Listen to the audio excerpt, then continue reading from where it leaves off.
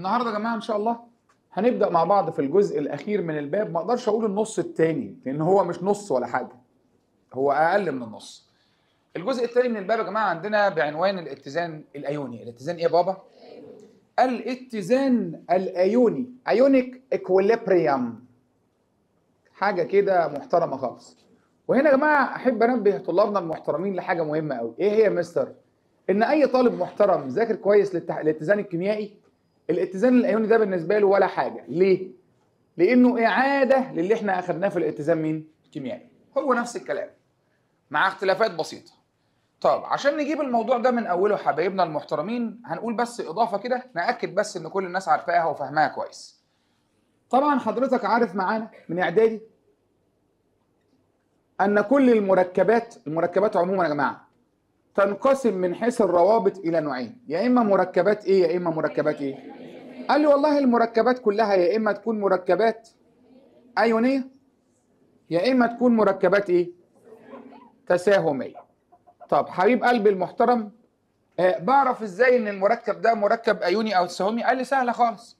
إذا نشأ المركب من اتحاد عنصر فلزي وآخر لا فلزي فإن المركب من المركبات الايونيه أما إذا كان المركب ينشأ من اتحاد لا فلز مع لا فلز فإن المركب من المركبات إيه؟ التساهميه الجزئيه اللي عايزين نأكد عليها كمان. مش ده مركب أيوني؟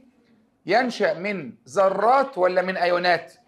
يبقى هذا المركب بيتكون من أيونات. طب ليه بنقول من أيونات؟ قال يا مستر ما هي سهلة. لأن الفلز لما دخل التفاعل فقد إلكترونات متحولا إلى أيون موجب واللا فلز اكتسب متحولا إلى أيون وعليه ده هو أصلا اسمه ايوني لأن هو بيتكون منين؟ بينما المركب التساهمي أستاذ المحترم بيتكون من أيونات ولا من ذرات؟ لأن هنا بقى حبيب قلبي لو فاكر لا حد بيفقد ولا حد إيه؟ أمال الرابطة كانت بتنشأ إزاي؟ عيب مشاركة. أنت بتشارك يعني تساهم بإلكترونات وأنا بشارك معاك.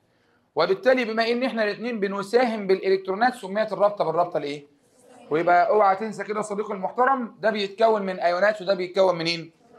طب يلا بقى عشان هنبدأ بأول حتة. بص بيقول لك إيه؟ عند إذابة المركبات الأيونية مثل ال في الماء. يبقى هو بدأ يا جماعة بيقول لك لو دورنا مركب إيه يا جماعة؟ أيوه لا لا لا ماليش دعوة بالمثال أنا بشرح قاعدة. أي مركب إيه؟ لما حضرتك بتدور أي مركب ايوني مش NaCl بس أنا بقول مثل ده مثل لكن القاعدة أهي. يبقى هنا لو حضرتك جبت أي مركب ايوني دوبته في المية زي مين يعني؟ قال لك مثل مين؟ مثل NaCl. إيه اللي بيحصل له؟ بيقول لك فإنها تتفكك. يبقى أي مركب ايوني يا جماعة لو اتحط وداب في المية فإنه إيه؟ فإنها تتفكك. إلى ايونات موجبة وايونات إيه يا جماعة؟ يبقى خد بالك يا بابا أي مركب ايوني لو اتحط في المية وداب فإن المركب يتفكك إلى ايونات إيه وايونات إيه بالراحة. والمعادلة يا جماعة بتاعه تفككه كنا واخدينها في أولى ثانوي في حاجة اسمها المعادلة الايونيه مش ده NaCl solid جيت سيادتك قمت حاطه في المية المية water أول ما ينزل المية بقى إيه اللي يحصل له؟ يتفكك. إيه اللي يحصل له؟ يتفكك إلى ايون صوديوم موجب وأيونات الكلورايد مالها السالبة. صعب الكلام ده؟ ثواني بقى. يبقى سؤال محلول مركب أيوني زي كده يحتوي على أيونات ولا لا يحتوي على أيونات؟ يحتوي. يا راجل ده أنت لسه قايل إن هو اتفكك إلى أيونات موجبه وايونات إيه؟ سالبة. اسمع بقى. مثل هذا النوع من المحاليل مثل هذا النوع من المحاليل. يكون جيد التوصيل للكهرباء يا جماعة. يبقى النوع ده من المحاليل ماله يا جماعة؟ يكون إيه؟ يكون جيد التوصيل للكهرباء. بين قوسين بقى يا جماعة بيسموه إيه؟ electrolyte قوي. يبقى أي محلول لمركب ايوني يا جماعة بيوصل كهرباء ولا ما بيوصلش؟ بيوصل. وهقول لك عرفنا إزاي إن هو بيوصل. يطلق على هذا النوع من المحاليل الالكترولايتات مالها؟ طبعا هو ينطق في اللغة اللاتينية electrolyte وبينطق في العربي الكتروليت ليت لكن أنا ما بحبش ليت دي بصراحة فأنا ما أنا آسف يعني. بس أنت مع نفسك. صعب الكلام ده؟ بس استنى. حبيب قلبي المحترم قال لي مستر طب وأنتوا بتعرفوا منين؟ إذا كان بيوصل ولا ما يوصلش. قلت له يا سلام. جيت في جمل. جيت في جمل. ما جيتش في جمل. تعالى يا بتاع الفيزياء. مش أنت عندك محلول؟ عايز تعرف هو بيوصل ولا لأ؟ أهو. نفترض إن ده محلول ملح الطعام. وحضرتك عايز تثبت إن هو بيوصل كهرباء. اتفرج أنا وأنت هنعمل دايرة كهربية. نعمل إيه؟ نجيب ساقين من الكربون. جرافيت. طبعا كلكم عارفين إن الجرافيت بيوصل كهرباء صح؟ طب يلا. وأدي مصدر كهربي اللي هي بطارية. تمام؟ وهنا نركب مصباح لمبة يعني. وأدي سلك وأدي سلك. صعب لحد كده؟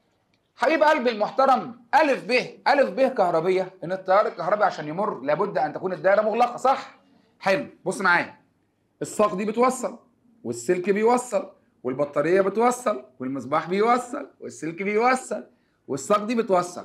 فاضل مين بقى اللي لو وصل تبقى الدائره مقفولة؟ المحلول صح؟ بس كده. فهو بيقول لك إحنا لما حطينا الدايرة دي ما شاء الله المصباح عمل إيه؟ نور. وده معناها إن المحلول ده وصل ولا ما وصلش؟ حلو. المحلول لما يوصل التيار الكهربي يبقى اسمه محلول إلكترولايت. طب هو وصل ليه بقى؟ نظرا لاحتوائه على أيونات حرة. عشان في إيه يا جماعة؟ عشان في إيه؟ أنا بأكد على الكلمة. عشان في إيه؟ يبقى هنا. إذا كان المحلول جيد التوصيل للتيار الكهربي فإنه يسمى إلكترولايت. وفي الحالة دي هو بيوصل كهرباء نظرا لاحتوائه على إيه؟ وهنا أأكد على الأستاذة من الباب ده والباب الجاي وعندها في الفيزياء إن الموصلات نوعين في حاجة اسمها موصلات إلكترونية اسمها هو يا بنت فضح نفسه إلكترونية وموصلات إلكترولايتية يبقى الموصلات كام نوع؟ إما إيه وإما إيه؟ الموصل الإلكتروني اللي هو السلك يا مستر اللي هو السلك يا حبيب المستر الموصل الإلكتروني هي مادة تسمح بمرور التيار الكهربي نظرا لاحتوائها على إلكترونات حرة. نظرا لاحتوائها على إيه؟ لكن الموصل الإلكترولايتي هي مادة تسمح بمرور التيار الكهربي نظرا لاحتوائها. يبقى فرقي يا هانم بين الموصل ده والموصل ده. ده موصل إيه؟ إلكتروني. لكن ده موصل إيه؟ ده بيوصل عشان عنده إيه؟ لكن ده بيوصل عشان عنده إيه؟ اتفهمت دي كده؟ يبقى أي مركب ايوني عند وضعه في الماء فإنه إيه؟ يتفكك. لا ايونات موجبه وايونات مثل هذا النوع من المحاليل بيوصل ولا ما بيوصلش كهرباء؟ بيوصل كهرباء بيسموه إيه؟ طب بيوصل كهرباء ليه؟ عشان بيحتوي على إيه؟ ومن اللي أنا شرحته ده يا هانم يا اللي مركزة نستنتج حاجتين. اولا أخذنا مصطلح اسمه التفكك. اسمه إيه؟ أو اسمه بالإنجليزي association. اسمه إيه؟ association not ionization. تعالى لي بقى. وخد بالك من الجملة دي اللي هي تبان إن هي هايفة بس عليها أسئلة كتير. وأنت اللي هتزعل لو غلطت. هو أنا قلت فإنها تتأين في الماء ولا فإنها تتفكك؟ وهتقول لك ما هي تتفكك هي تتأين. ده تضربه بالنار. تضربه بالنار. ما هو قدامك حلين. يا تضربه هو بالنار يا تحطها في بقك وتطلع من دماغك. ملهاش حل. لو أنا برضه هموت نفسي. ليه يا بابا؟ مين قال لك إن التفكك هو التأين؟ غلط. هنا بقى بأكد على الكلمة. هو ليه هنا المستر قال تفككا ولم يقل تأينا هو مش المركب ده أصلا وهو في الحالة الصلبة كانوا عبارة عن أيونات. بتوع العربي تأين تأين. يعني هو كان عبارة عن ذرات وتحول إلى تحول الذرات إلى أيونات يبقى اسمها تأين. لكن الباشا هنا وهو في الحالة الصلبة كان عبارة عن أيونات. الأيونات دي نزلت في المحلول. انفصلوا عن بعض فيقال تفكك المركب ولا تأين المركب؟ يبقى خد القاعدة دي. أي مركب ايوني يتأين ولا ايوني يتفكك؟ يبقى المركبات الأيونية تتفكك ولا اوعى تقول تتأين غلط. ده انت بتعك. يبقى إيه هو التفكك؟ لو حبيت أعرف بقى. يبقى التفكك هو عملية تحول جزيئات مين؟ المركبات مين؟ هو عملية تحول جزيئات. المركبات الأيونية. إلى أيونات حرة. ويبقى خد بالك بقى أحسن يجي في الامتحان يشتغلك وبيجيبها كتير. استنى استنى. يجيب لك مركب زي كي إن أو 3 ويقوم ملخبطك بقى. بص الألفاظ. يقول لك كي إن أو 3 تساهمي يتأين ولا تساهمي يتفكك؟ ولا أيوني يتفكك ولا أيوني يتأين؟ اولا هو أيوني. وبما إنه أيوني يتفكك. اوعى تقول أيوني يتأين. ده راجل حتى حتى تحس كده الضمير مش مستريح لها. أيوني. يتأين عملها إزاي؟ يعني هو أصلا أيوني ويتأين ده أنت غبي. ما هو أصلا أيوني هيتأين لكن أيوني ماله؟ لكن لسه بقى اللي إحنا هنشرحها. لكن لو أنت على هيئة ذرات وتحولت الأيونات هنقول تأين يعني الملخص المركبات الأيونية بينما التساهمية. هتتأين وهتشوفها. فهمت يعني إيه تفكك؟ استنى كمان أخدنا يعني إيه كلمة الإلكترولايتات صح؟ يبقى إيه الإلكترولايتات دي يا مستر؟ اسمعي يا بابا. يبقى الإلكترولايتات هي محاليل أو مصاهير. كل الإلكترولايتات يا جماعة حاجة من اتنين يا إما إيه يا إما إيه جماعة فاهمين يعني إيه محاليل؟ يعني مواد مدوبينها فين؟ أما مصاهير يعني سخناها فتحولت من صلب لسائل. هي محاليل أو؟ توصل ها؟ التيار إيه يا بابا؟ أسمع نظرا لاحتوائها. أيوه كده نظرا على إلكترونات ولا ايونات أيوه كده. نظرا لاحتوائها على آيونات حره صعب الكلام لحد كده يا جماعة؟ حلو. وبكده خلصنا الكلام عن المركبات مين؟ الآيونية. تعال بقى محترم عشان نتكلم عن مركبات مين؟ طب قبل ما اشرح أي كلمة في التجربة دي باكد على حاجة أهو. قبل ما أقول حتى حاجة خالص. التجربة دي ثلاث خطوات. كم خطوة؟ كل خطوة. أنا هقول لك إحنا عملنا إيه؟ وأنت ما شاء الله عليك عشان أنت بتفهم هتقول لي أنت استنتجت إيه. بس قبل بس ما نخش في التجربة سؤال لو المحلول فيه أيونات يوصل كهرباء ولا ما يوصلش؟ طب لو ما فيهوش؟ يبقى أي محلول لو أنت معاك أيونات حرة أنت توصل كهرباء. طب معيش أيونات. يبقى المسؤول عن توصيل الكهرباء في المحاليل والمصاهير هي مين؟ هي الأيونات. هي مين حضرتك؟ أنا نبهتك أهو. طب اسمعوا يا حبايب قلبي المحترمين كده نبدأ التجربة. الراجل الطيب ده بيقول لك إن إحنا جبنا واحد من عشرة مول من غاز كلوريد الهيدروجين. يبقى إحنا جبنا واحد من عشرة مول منين؟ مركب تساهمي. وكمان جبنا واحد من عشرة مول من حمض الاسيتيك. تاني يبقى إحنا جبنا إيه؟ واحد من عشرة مول منين؟ وواحد من عشرة مول منين؟ صعب الكلام لحد كده؟ اعمل إيه بقى؟ بيقول لك قم بإذابة كل منهما في البنزين العطري. يبقى أول خطوة هدوب اتنين فين؟ يبقى بص بص بإذابة أهو بإذابة كل إيه؟ منهما. فين يا حاجة؟ ويحسن يكون حد قاعد بس مش فاكر إيه البنزين العطري ده يا بابا. بنزين العطري ده أخدناه في أولى ثانوي وإن شاء الله هيكون عندنا آخر السنة. البنزين العطري هو مذيب عضوي. مذيب إيه يا جماعة؟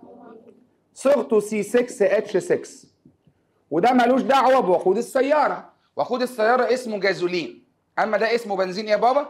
وهيكون زي ما قلت لك عندنا في آخر باب في الكيمياء العضوية. المهم يبقى هو هيجيب إناءين. ده فيه بنزين عطري وده فيه بنزين عطري. في الإناء ده هيدوب HCl وفي الإناء الثاني هيدوب ده هيدوب وده هيدوب. معايا؟ ثم خد بالك أهو يبقى أول حاجة دوبهم صح؟ ثم قم باختبار التوصيل الايه يا جماعة؟ التوصيل الكهربي لكلا المحلولين فاهمين كلام يا جماعة؟ يبقى انت مسكت الاثنين دوبتهم فين الأول؟ في المية؟ أدي أول الكلام. أدي أول الكلام. أدي أول الكلام عشان أوريك بس. الراجل قاعد سرحان. بقول له فين؟ آه في المية طبعا. دوبناه في المية. ويقول لك إيه؟ ما بيتنرفز دي ما بيتنرفز. مفيش حاجة تنرفز. يبقى تاني معلش يا جماعة. إحنا جبنا اثنين دوبناهم فين؟ واختبرنا التوصيل إيه؟ أنا بقى هقول لكم المشاهدة وأنتوا تقولوا الاستنتاج. المشاهدة. لا يضيء المصباح. لا يضيء مين؟ في كلتا الحالتين. يعني يا حبيب قلبي المحترم إحنا جبنا اتش سي ال دوبناه في البنزين وجبنا صاحبنا ده دوبناه فين؟ في البنزين. واختبرنا التوصيل الكهربي هنا وهنا. لا هنا نور ولا هنا نور. يلا يا بابا. يبقى المواد دي اتأينت ولا ما اتأينتش اذا اسمع يا بابا اذا كل من ال صح؟ وحمض مين؟ وحمض الأسيتيك اللي هو سي اتش 3 سي أو أو لا يتأين فين يا بابا؟ إيه اللي أثبت لك إن هو لا يتأين في البنزين يا ولد ما وصلوش كهرباء يعني المحلول ما فيهوش أيونات صعب الكلام؟ أنا قلت لا يتأين ولا لا يذوب؟ يطلع لك واحد يقول لك المستر قال لا يذوب. أنا قلت لا يذوب. اتق الله. يا ابني هما الاثنين دابوا. ولذلك تعال نأكد على معلومة عشان ما حدش يسرح ويقول حاجة غلط. الذوبان حاجة والتأين حاجة تانية. والكلام ده أنا قلته فيما مضى لما كنت أنت لسه عيل صغير في أولى ثانوي. لما كنت لسه طالع كده بخدود وقلبوز ولسه أنا واخدك وأنت طفل بحاول إن أنا أعلمك. ويا ريتك اتعلمت. بص بابا أنا جبت مادة حطيتها في المية أو في أي حاجة تانية. دابت. بعد الذوبان بقى بيحصل حاجة من اتنين. بعد الذوبان يا إما يا إما طب بصي بقى يبقى هي لو اتأينت الأذكية يبقى قبل ما تتأين كل متأين زائب يعني أي حاجة. لو اتأينت اعرف إن قبلها إيه اللي حصل. دي أكيد قطعا قولا واحدا ولا جدال فيه. دي أكيد ذابت طب هل كل زائب متأين؟ لا يا أخويا ممكن المادة تدوب وما تتأينش. مثال مشهور غير الأمثلة دي. هات سكر الطعام وحطه في المية. السكر بيدوب في المية ولا لا؟ بيدوب. اختبر التوصيل الكهربي اللمبة مش تتنور ها. يبقى سكر الطعام يتأين ولا لا يتأين؟ لا يتأين. ولذلك فرق بين يذوب ويتأين. هما الاثنين دابوا في البنزين؟ آه دابوا في البنزين. طب اتأينوا في البنزين؟ إيه دليلك إن هما الاثنين ما تأينوش ما وصلوش كهرباء. صعب يا جماعة الخطوة الأولى في التجربة؟ يبقى الخطوة الأولى للمرة الأخيرة. جبت الاثنين دوبتهم فين؟ ثم اختبرت التوصيل الكهربي. لا يضيء المصباح لا يضيء المصباح. الاستنتاج أن كلاهما؟ الخطوة الثانية يا حبايب قلبي بإذابة ها كل منهما تاني بس المرة دي فين بقى؟ في المية يعني هتجيب اتش سي ال تدوبه في المية وهتجيب حمض الأسيتيك تدوبه فين؟ ثم اختبار التوصيل يلا يا جماعة اختبار مين؟ واختبار التوصيل الكهربي لكل منهما أنا أقول لكم المشاهدة بقى وأنا عارف إن أنتوا كويسين والله بس اسمع للآخر اختبرنا التوصيل الكهربي لمحلول اتش سي ال في المية وحمض الاسيتيك فين؟ اسمع يا حبيبي يا بتاع اللغة العربية. هنا يضيء المصباح بشدة. يضيء المصباح بإيه؟ أما هنا يضيء المصباح إضاءة خافتة. إضاءة يا لا. إيه خافتة دي يا جماعة؟ يعني بص مستر يا دوب اللمبة منورة. أنا هسأل السؤال الأول. في أيونات هنا ولا لأ؟ في أيونات هنا ولا لا؟ حلو يعني هنا في أيونات وهنا في أيونات. أنت اللي قلت. بس يبقى ما دلالة إن الإضاءة هنا شديدة؟ قال لي هنا اذا يحتوي المحلول على كمية وفيره أو كبيرة صح؟ منين؟ آه معاه أيونات كتير. وعشان هو أيونات حر عنده أيونات كتير أكيد بيوصل كويس. طب ما هو هنا يضيء بس اضاءه مالها؟ أسمع. يحتوي المحلول على إيه؟ على كمية قليلة أو كمية محدودة منين؟ بس هما الاثنين اتأينوا يا جماعة صح؟ يبقى اولا بما إن ده وصل وده وصل يبقى ده عنده أيونات وده عنده إيه؟ بس باينة جدا ده عنده أيونات كتير وده ما عندوش أيونات كتير ده عنده أيونات مالها؟ قليلة. ولذلك يا جماعة عشان بس ما فيش واحد يقعد باصص لك كده يقول لك أصل الموضوع صعب. صعب إيه بابا؟ صعب إيه؟ ما أنا شرحتها قبل كده بأسلوب بسيط. أنا أنا أنا فتحت محل أكل. نفتح قريب إن شاء الله. آه أعمل نعم. وأنت فاكر إن أنا هفضل كده؟ مش هشتغل أنا مدرس تاني أبطل. حلو. أنا هفتح محل أكل. الأكل بيكسب زي الفل. ماله الأكل؟ أعمل بقى سندوتشات همبرجر بقى وحاجات. المهم أنا فتحت مطعم أكل. بس ما جبتش موتوسيكلات. لو انت اتصلت بيا وقلت لي لو سمحت أنا عايز كذا كذا أقول لك وماله الأوردر اتسجل بس إيه؟ تعالى خد أكلك. ما عندناش توصيل. ليه ما عنديش توصيل؟ ما عنديش موتوسيكلات ما عندوش ايونات في إيه مالك ما عندوش؟ ايونات صح كده؟ طب أقول لك إيه؟ أنا بقى فتحت مطعم تاني برضه. تاني بقى غير الأولاني. بس جايب اتنين استفدت من التجربة الأولى. وجايب اتنين بيوصلوا. وفتحت مطعم تالت. ما شاء الله سلسلة. بس جايب 20 واحد بموتوسيكلات يوصلوا. قارن لي كده بين الثلاث مطاعم بتوعي. أنا جايب سلسلة مطاعم ملهاش حل. الأولاني ما عندوش خدمه توصيل صح؟ فيش. no موتوسيكلات no delivery صح ولا غلط؟ مش محتاجه خالص. ولا محتاج طب في محل فيهم عنده موتوسيكلين وفي محل عنده 20 آه. قال لي اللي عنده موتوسيكلين ده هيوصل. بس بيوصل الأكل بعدها بساعة ونص. صح ولا غلط؟ بطيء ضعيف. بينما اللي عنده 20 موتوسيكل ده بيوصل بسرعة. يبقى سرعة التوصيل أو جودة التوصيل بتعتمد على على عدد الأشخاص اللي بيوصلوا صح؟ طب ما هي نفس الكلام. المحلول ده بيوصل بشدة صح؟ يبقى في ايونات مالها طب ده بيوصل بس على قده شوية. ده محتاج حاجة؟ صعب لحد كده؟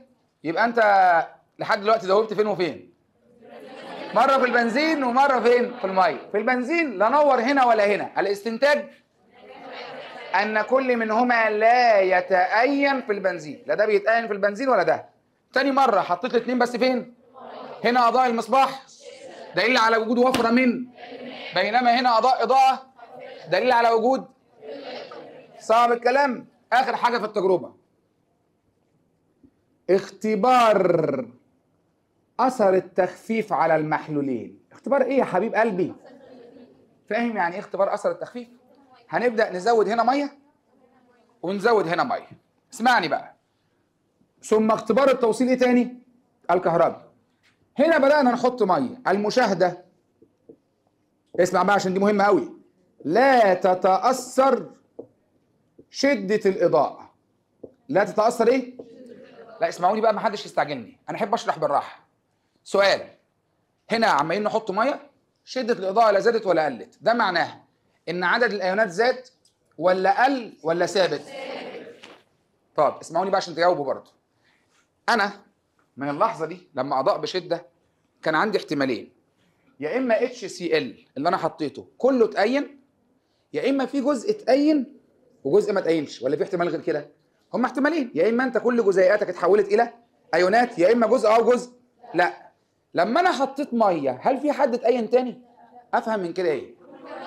أفهم من كده إن اتش سي ال ده كان كله متأين من الخطوة كام؟ الاستنتاج أن حمض اتش سي ال تام التأين في الماء. تام إيه؟ فاهمه يعني إيه بقى تام التأين؟ آه آه يعني كل الجزيئات من الخطوة دي من قبل ما نخفف كانت متحولة إلى يبقى عدم تأثر شدة الإضاءة. اذا ها؟ حمض HCl ماله؟ تام التأين في الماء. Completely ionized. صح يا جماعة؟ يبقى نسميه electrolyte ضعيف ولا قوي؟ يا راجل ده بيوصل بشدة يبقى نسميه إلكترولايت ماله؟ يبقى أي إلكترولايت قوي بيكون تم الايه التأين حيث يتحول كل الجزيئات إلى أيونات. طب صح يا جماعة يتأثر بالتخفيف ولا لا يتأثر؟ يا عم عيب ما هو اتأين كله من الخطوة الأولى. فأنت لما بتحطه مية تانية ما بيحصلش حاجة. يا رب يفهموا دي لوحدهم بقى. هنا بقى تزداد شدة الإضاءة. تدريجيا بالتخفيف. فاهمين حاجة؟ يعني بص بص بص. انت عمال تحط مية. كل ما تحط مية اللمبة تنور زيادة. كل ما تحط مية اللمبة تنور زيادة. فهمت من كده إيه؟ أقول لك بقى يا مستر. الحمض ده كان جزء منه اللي اتأين والباقي لسه. وانت كل ما هتحط مية جزء من اللي ما تأينش يبدأ يعمل إيه؟ يبقى الاستنتاج ان الحمض ده كان تم التأين هنا ولا غير تام؟ اذا حمض الأسيتيك ماله يا حاجة؟ غير تام الايه؟ غير تام التأين. نسميه electrolyte إيه؟ يبقى electrolyte ماله؟ ضعيف. اتفهمت التجربة؟ يبقى استنى استنى. من الأول تاني. بسرعة بقى. يبقى واحد. هات واحد من 10 مول من اتش سي ال وحمض اسيتيك صح؟ وحط الاثنين فين؟ واختبر التوصيل. لا يضيء المصباح لا يضيء المصباح. الاستنتاج؟ أن كلاهما لا هات الاثنين هم هم وحطهم في المية. يضيء المصباح بشدة ويضيء إضاءة خافتة. دليل على إن ده ماله؟ أهي الغلطة. تلاقي واحد يقول لك إيه؟ تم التأين صفر. لا وفره من الايونات الإضاءة الشديدة يا محترمة لا والله العظيم لا تدل على إنه تم التأين تحبي اديها لك في نص دماغك في منتصف الجبهة؟ ليه؟ لأن ممكن تبقى الإضاءة شديدة وأنت لما تحط مية تاني تشتد أكتر. صح ولا غلط؟ يبقى كده ما كانش كله متأين أنت بتجيبيها منين؟ أصل هي الكارثة في الخطوة دي. أجي أقول لها هو إضاءة المصباح بشده معناها إيه؟ تقول لي يعني هو تم التأين مين قال لك كده ده؟ اللي يدل إن هو تم التأين لما ما يتأثرش بمين؟ بالتخفيف. عدم تأثره بالتخفيف معناه إن الكمية كلها اتأينت من الخطوة الأولى صح ولا غلط؟ يبقى يا جماعة بلاش خلط في الكلام لأن إحنا كل سنة بيطلع لنا نفس النوع ده من الطلبة. نقول له خد بالك ما بين الخطوة الثانية فهمتنا إيه والخطوة الثالثه فهمتنا إيه؟ ويظل الطالب الذكي ذكي والغبي غبي ما لم يؤثر عليه تركيز يغير من حالة الغباوة دي. بيفضل غبي. يا ابني إن هو ينور بشدة مش معناه إن هو تم التأيين مين قال؟ لك بقول لك إيه؟ كان بشدة. وأنا حطيت له مية والشدة زادت. يبقى ما كانش تم التأيين صح ولا غلط؟ فما تقوليش لا. ما تقولش الكلام ده. الكلام قدامك على السبورة أهو. يبقى إضاءة المصباح بشدة. معناها هو فيه ايونات كتير. وهنا إضاءة خافتة معناها اختبار أثر التخفيف. لما حطيت مية هنا ما اتاثرتش وده دليل إن هو كان تام التأين من الخطوة دي. طب هنا كل ما أحط مية كل ما تزيد الإضاءة. ده معناها إن هو كان غير تام؟ وكل ما تحط له مية جزء من اللي ما تأينش يبدأ يعمل إيه؟ يتأين. صعب الكلام ده؟ ويبقى ناخد قاعدة بقى. أي electrolyte قوي يكون؟ يتأثر بالتخفيف ولا لا يتأثر؟ برافو. بينما أي الكترولايت ضعيف؟ غير تام التأين. يتأثر ولا لا يتأثر؟ صعب الكلام ده؟ استنى بقى. ده أنت كده لو مركز على السبورة من التجربة دي عرفت إن في ثلاث مصطلحات. عرفت إن في عملية بتحصل اسمها عملية التأين. اسمها عملية إيه؟ It's called ionization not association.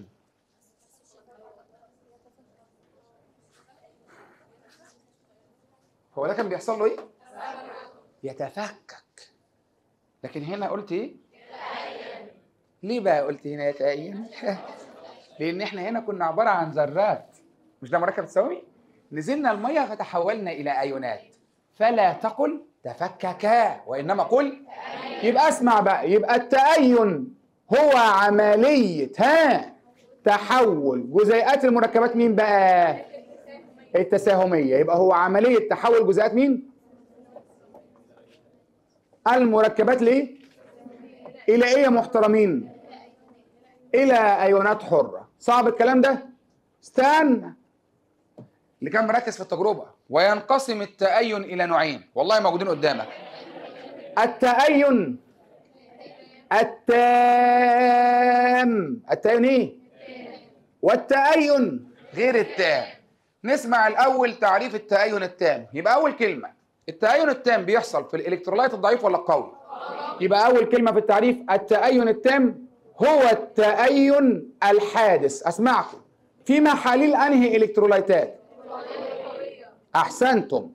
هو التأين الحادث في محاليل ها؟ الإلكترولايتات إيه؟ القوية. سؤال بقى كملوا التعريف. حيث يتحول جزء منها إلى أيونات ولا حيث يتحول كل الجزيئات لأيونات؟ يا راجل ده أنت قايل تام يا راجل. يبقى حيث ها؟ تتحول كل الجزيئات إلى أيونات. صح كده؟ طب مثال بقى من اللي إحنا أخدناهم في التجربة. مثل مين؟ برافو يا بطة. بتقول لك مثل اتش سي ال حبايبي ممكن بس قبل ما أكتب معادله أسألك سؤال؟ هو اتش سي ال وهو غاز غاز غاز غاز. بيوصل كهرباء ولا لأ؟ الحمد لله الحمد لله إن هم قالوا لأ. الحمد لله. اللهم لك الحمد حمدا طيبا كثيرا مباركا فيه. ها والله العظيم. آه والله. غاز ما فيهوش ايونات هيوصل إزاي؟ بلاش فيزياء. جميع الغازات في الظروف المعتادة. رديئة التوصيل للتيار الف ب فيزياء. واحدة بتقول لك في المجموعة اللي فاتت بيوصل. طبعا هنا هي صعقتني بتيار كهربي شدته مش أقل من 8000 أمبير. تخيل 8000 أمبير اديتهم لي. آه والله العظيم. وبفرق جهد لا يقل عن 20000 تخيل بقى القدرة الكهربية اللي هي ادتهاني دي كانت قد إيه؟ بس مش ممكن. شايف فرق الجهد عالي إزاي؟ شدة التيار عالية جدا. مش ممكن. يقول لك بيوصل. مش ممكن. ناس ما بتفكرش قبل ما ترد. طبعا يا جماعة الغاز ما بيوصلش. إحنا هنهرج. الراجل ده بيوصل لما يدوب فين؟ في المية. لأنه بعد ما بيدوب في المية بيحصل له تأين صح؟ فيدينا أيونات مين يا حاجة؟ اتش الموجبة؟ وأيونات إيه؟ طب استنوا استنوا. يبقى التأين التام تاني. هو التأين الحادث فين؟ في محاليل الإلكترولايتات انهي حيث يتحول كل إيه؟ ومع إن السؤال واضح. هو التأين الله التام ها؟ التام. التأين إيه؟ التام. التام. التام. في اتزان ولا ما فيهوش؟ قالت لي ما هو التأين التام هو التفاعل التام. بيمشي في كام اتجاه؟ وانت قايل لنا قبل كده إن شرط الاتزان عمليتان متلازمتان. هنا في عمليتين ولا عمليه واحدة. يبقى محاليل الإلكترولايتات القوية لا يحدث بها اتزان حيث أنها تكون تمت فيتحول كل الجزيئات إلى بالمرة. تتأثر بالتخفيف ولا لا تتأثر؟ يبقى اسمع أي إلكترولايت قوي تم التأين وأدام تم التأين لا يتأثر بالتخفيف. طب هنا ينطبق عليه أو آسف يحدث به اتزان ولا لا يحدث؟ لا يحدث. صعب الكلام ده؟ اتفهمت كويس؟ طب ما تخشوا على النوع الثاني النوع الثاني من التأين اسمه التأين إيه؟ ما تقولوا أنتوا بقى يا جماعة عشان أنا تعبت. والله يا مستر ما محتاجة. يبقى هو التأين. الحادث. سامع يا بط. في محاليل الإلكترو لايتات مين يا هلا الضعيفة. ما حدش يتكلم بعد إذنك. أنا عايز أقول حاجة. حيث يتحول جزء ضئيل جدا. حيث يتحول جزء إيه وخد الزياده مني أنا. جدا جدا جدا جدا. أنا قلت أهو. يتحول جزء إيه من الجزيئات إلى إيه يا بابا؟ إلى ايونات طب ما تدونا مثال كده من اللي إحنا أخدناه. قالت لي سهلة. مثال على كده ورا أهو حمض مين؟ سي. اتش 3 سي أو أو اتش يا رب يستوعبوا يدينا أيون الأسيتات السالب وأيون اتش موجب. اكوس اكوس لا قاعد مركز بقى. قال لي هيتحول جزء بسيط من الجزيئات إلى؟ أكمل بقى. وينشأ في المحلول حالتين متعاكستين. واحد تحول الجزيئات إلى أيونات. اثنين اتحاد الأيونات مكونة يبقى هنا الجزيئات جزء منها بيتفك يدي أيونات وفي نفس اللحظة بعض الأيونات تتحد مكونة الجزيئات. هنا هنا هنا نا نا نا ينشأ نوع من الاتزان يسمى الاتزان الأيوني. يبقى أول كلمة في تعريف الاتزان الأيوني اللي قاعد مركز وفاهم. هو الاتزان الحادث في محاليل الالكترولايتات مين؟ بس كده. يبقى أول كلمة في التعريف الاتزان الأيوني أهو. هو ها؟ الاتزان الحادث في محاليل قول يا ولا. الالكترولايتات مين؟ الضعيفة. أسمعك بقى. بين مين ومين يا مستر؟ حبيبي قولها بالطريقة اللي تحبها مع ان أنا عارف إنك هتحب الطريقة الأولى. بين جزيئات المتفاعلات وأيونات النواة. بين إيه؟ مش بين جزيئات وجزيئات هنا. لو جزيئات وجزيئات كان بقى كيميائي. كان اتزان كيميائي. بين جزيئات المتفاعلات أو بصراحة لازم تعرفوا الطريقة الثانية للنطق. زميلتك اللي وراكي دي مالها. أو أقول بين الجزيئات غير المتأينة والأيونات المفككة بين إيه يا جماعة؟ بين الجزيئات غير المتأينة اللي لسه ما تأينتش والأيونات اللفظين صح يبقى تاني هو الاتزان الحادث في محاليل الإلكترولايتات مين؟ الضعيف بين مين ومين؟ اهي يا عم الأسهل أهي بين عشان ما يقولكش مستر خالد بيعقدنا بين جزيئات المتفاعلات وأيونات مين؟ صعب الكلام ده؟ استنى استنى خد دي بقى كمان اللي مذاكر هنا هنا هنا هنا. يمكن تطبيق قانون فعل الكتلة. يمكن يا أخويا؟ يا جماعة مش هنا حصل اتزان؟ يبقى هيكون في ثابت اتزان صح كده؟ فينفع نطبق قانون فعل الايه يبقى استنى استنى بقى. تعالى لي. ده الكترولايت إيه؟ قوي. يعني إيه قوي؟ طب هترد على أسئلتي. لازم الباكج ده يبقى معروف كده. قوي يعني إيه؟ طب. تم التأين صح؟ يتأثر بالتخفيف ولا لا يتأثر؟ لا يتأثر. في اتزان ولا ما فيهوش؟ المحلول بتاعه فيه جزيئات وأيونات ولا جزيئات بس ولا أيونات بس؟ أيونات بس. المنظر ده هيختفي. ينطبق عليه قانون فعل الكتلة ولا لا ينطبق؟ طب لا ينطبق ليه؟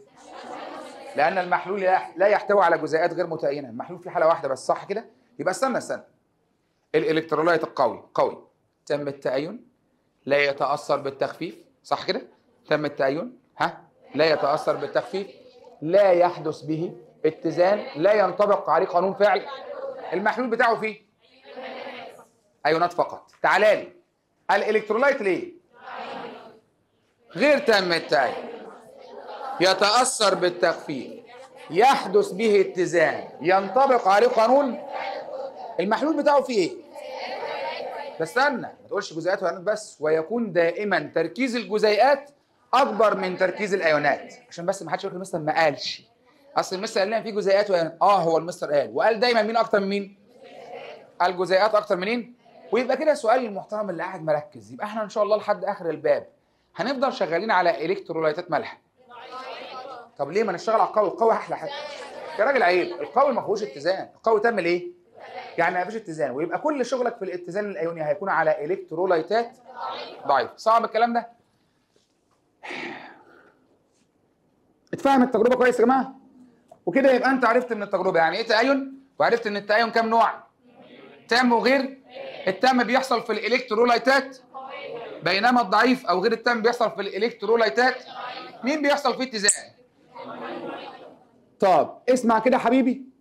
سؤال علل ده يا جماعة للمرة الثالثه على التوالي مش على التوازي. ليه؟ اتشرح مرة في سنة أولى. واتشرح في سنة ثانية وبيتشرح للمرة الثالثه في سنة كام؟ ثالثه يلا يا بابا.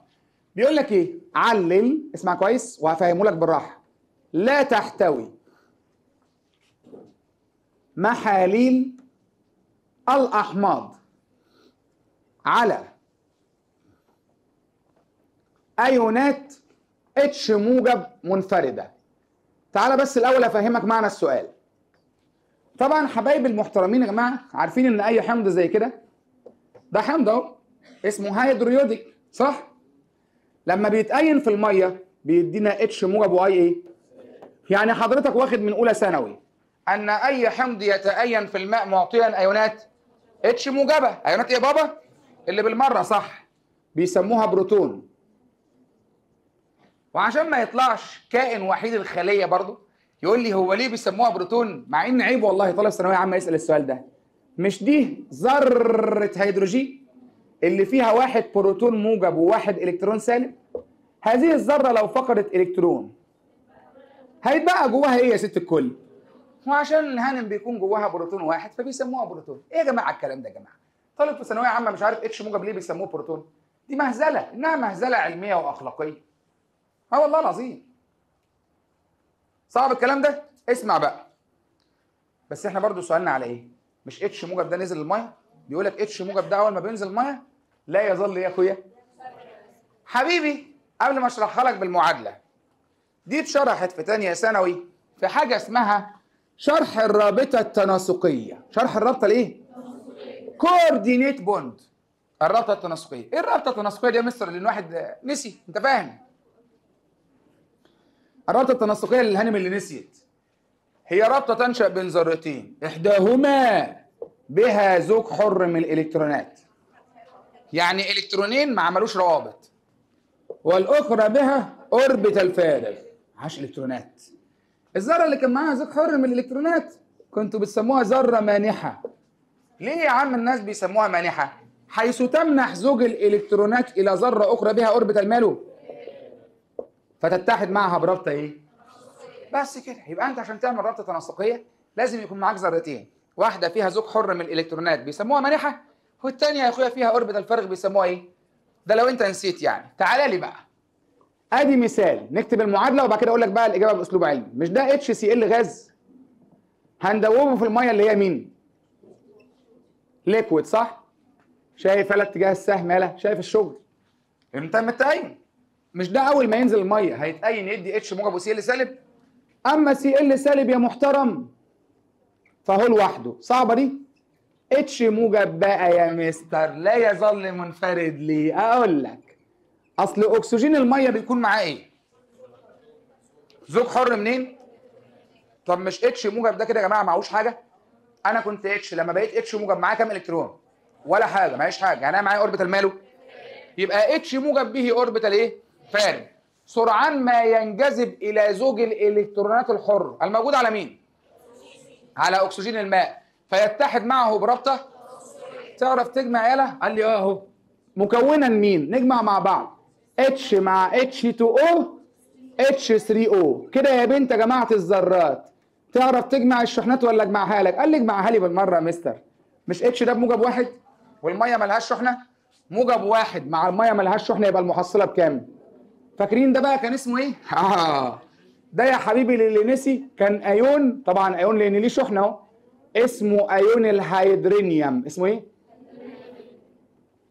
واحد بقى ما كانش بيذاكر لا في أولى ولا في ثانية يقول لك اسمه هيدرينيوم ليه؟ قول له مية يعني هيدرو. مية يعني إيه؟ فهيدرو. يتحد معاها H موجب يدي هيدرين يم زي أمونيا. امون يم إن اتش 3 بيتحد مع اتش موجب يدي إن اتش 4 موجب أمونيوم. طب مية هيدرو يدينا أيون مين؟ ده مش بس اسمه أيون هيدرينيوم عشان طلبة أزهر المحترمين بيسموه كمان البروتون المماه. البروتون إيه؟ أو بتقول لك المتهدرج يا جماعة معلش هو ليه اسمه بروتون مماه؟ لأنه ينشأ من اتحاد بروتون الأحماض مع جزيء المياه.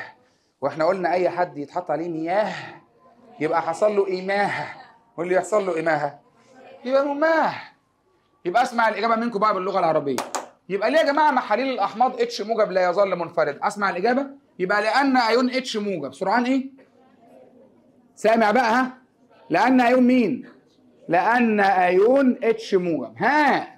سرعان. ما ينجذب. ها؟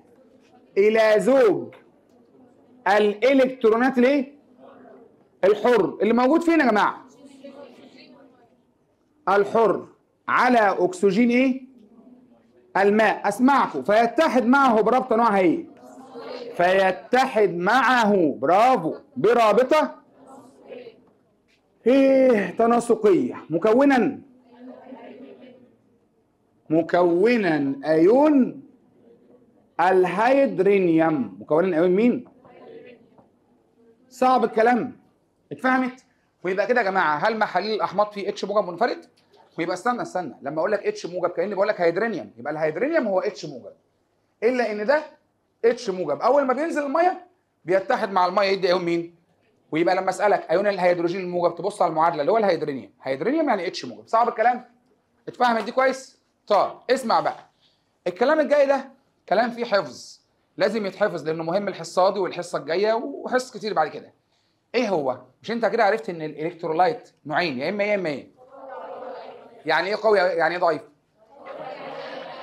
تم التأين وغير تعمل إيه؟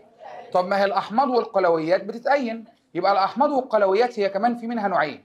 أحماض قوية وأحماض يبقى استنى استنى هنحفظهم دول. الأحماض من حيث القوة تنقسم لكام نوع؟ أحماض مالها؟ سؤال يا جماعة يعني إيه أحماض قوية؟ أسمع. أحماض تامت محلولها جاي لتوصيل التيار؟ طب يعني إيه أحماض ضعيفة؟ غير تامة التأين ومحلولها؟ ضعيف التوصيل للكهرباء. اسمع يا بيه. أحماض قوية. HCl HBr HI HNO3 HClO4 H2SO4 طبعا حبايب قلبي كل الأحماض دي هم عارفينها باستثناء واحد هيسألوني عليه ومع ذلك هقول. هيدروكلوريك هيدروبروميك هيدرويوديك حمض نيتريك حمض كبريتيك. أما البي ده ده أخدناه في ثانية ثانوي اسمه بير كلوريك. بير إيه؟ جاي من مجموعة اسمها بير كلورات فيدي بير كلوريك. كل الأحماض دي أحماض مالها؟ تاني بقى يلا بص ال package يلا. دي أحماض إيه؟ يعني إيه قوية؟ آه محلولها قوي التوصيل ولا ضعيف التوصيل؟ تتأثر بالتخفيف ولا لا تتأثر؟ آه محلولها فيه جزيئات وايونات ولا جزيئات بس؟ آيونات بس. ينطبق عليها قانون فعل الكتلة ولا لا ينطبق؟ صعب الكلام. احماض إيه؟ أمثلة. هيدروفلوريك كربونيك فوسفوريك H3PO4 ومن البورون عندنا حمض اسمه حمض البوريك. حمض إيه؟ مش بس كده خد دي. كل الأحماض اللي آخرها أوز. محدش يسألني. يعني نيتروز كبريتوز هيبوكلوروز كل ما هو اوز فهو حمض ماله. مش بس كده وكل الأحماض العضوية أحماض مالها. يعني حمض الأسيتيك حمض الأوكزاليك حمض الستريك حمض اللاكتيك أي حمض عضوي خدناه أو لسه هناخده إن شاء الله في العضوية فهو حمض ماله. استنى بقى نفتكر حاجة.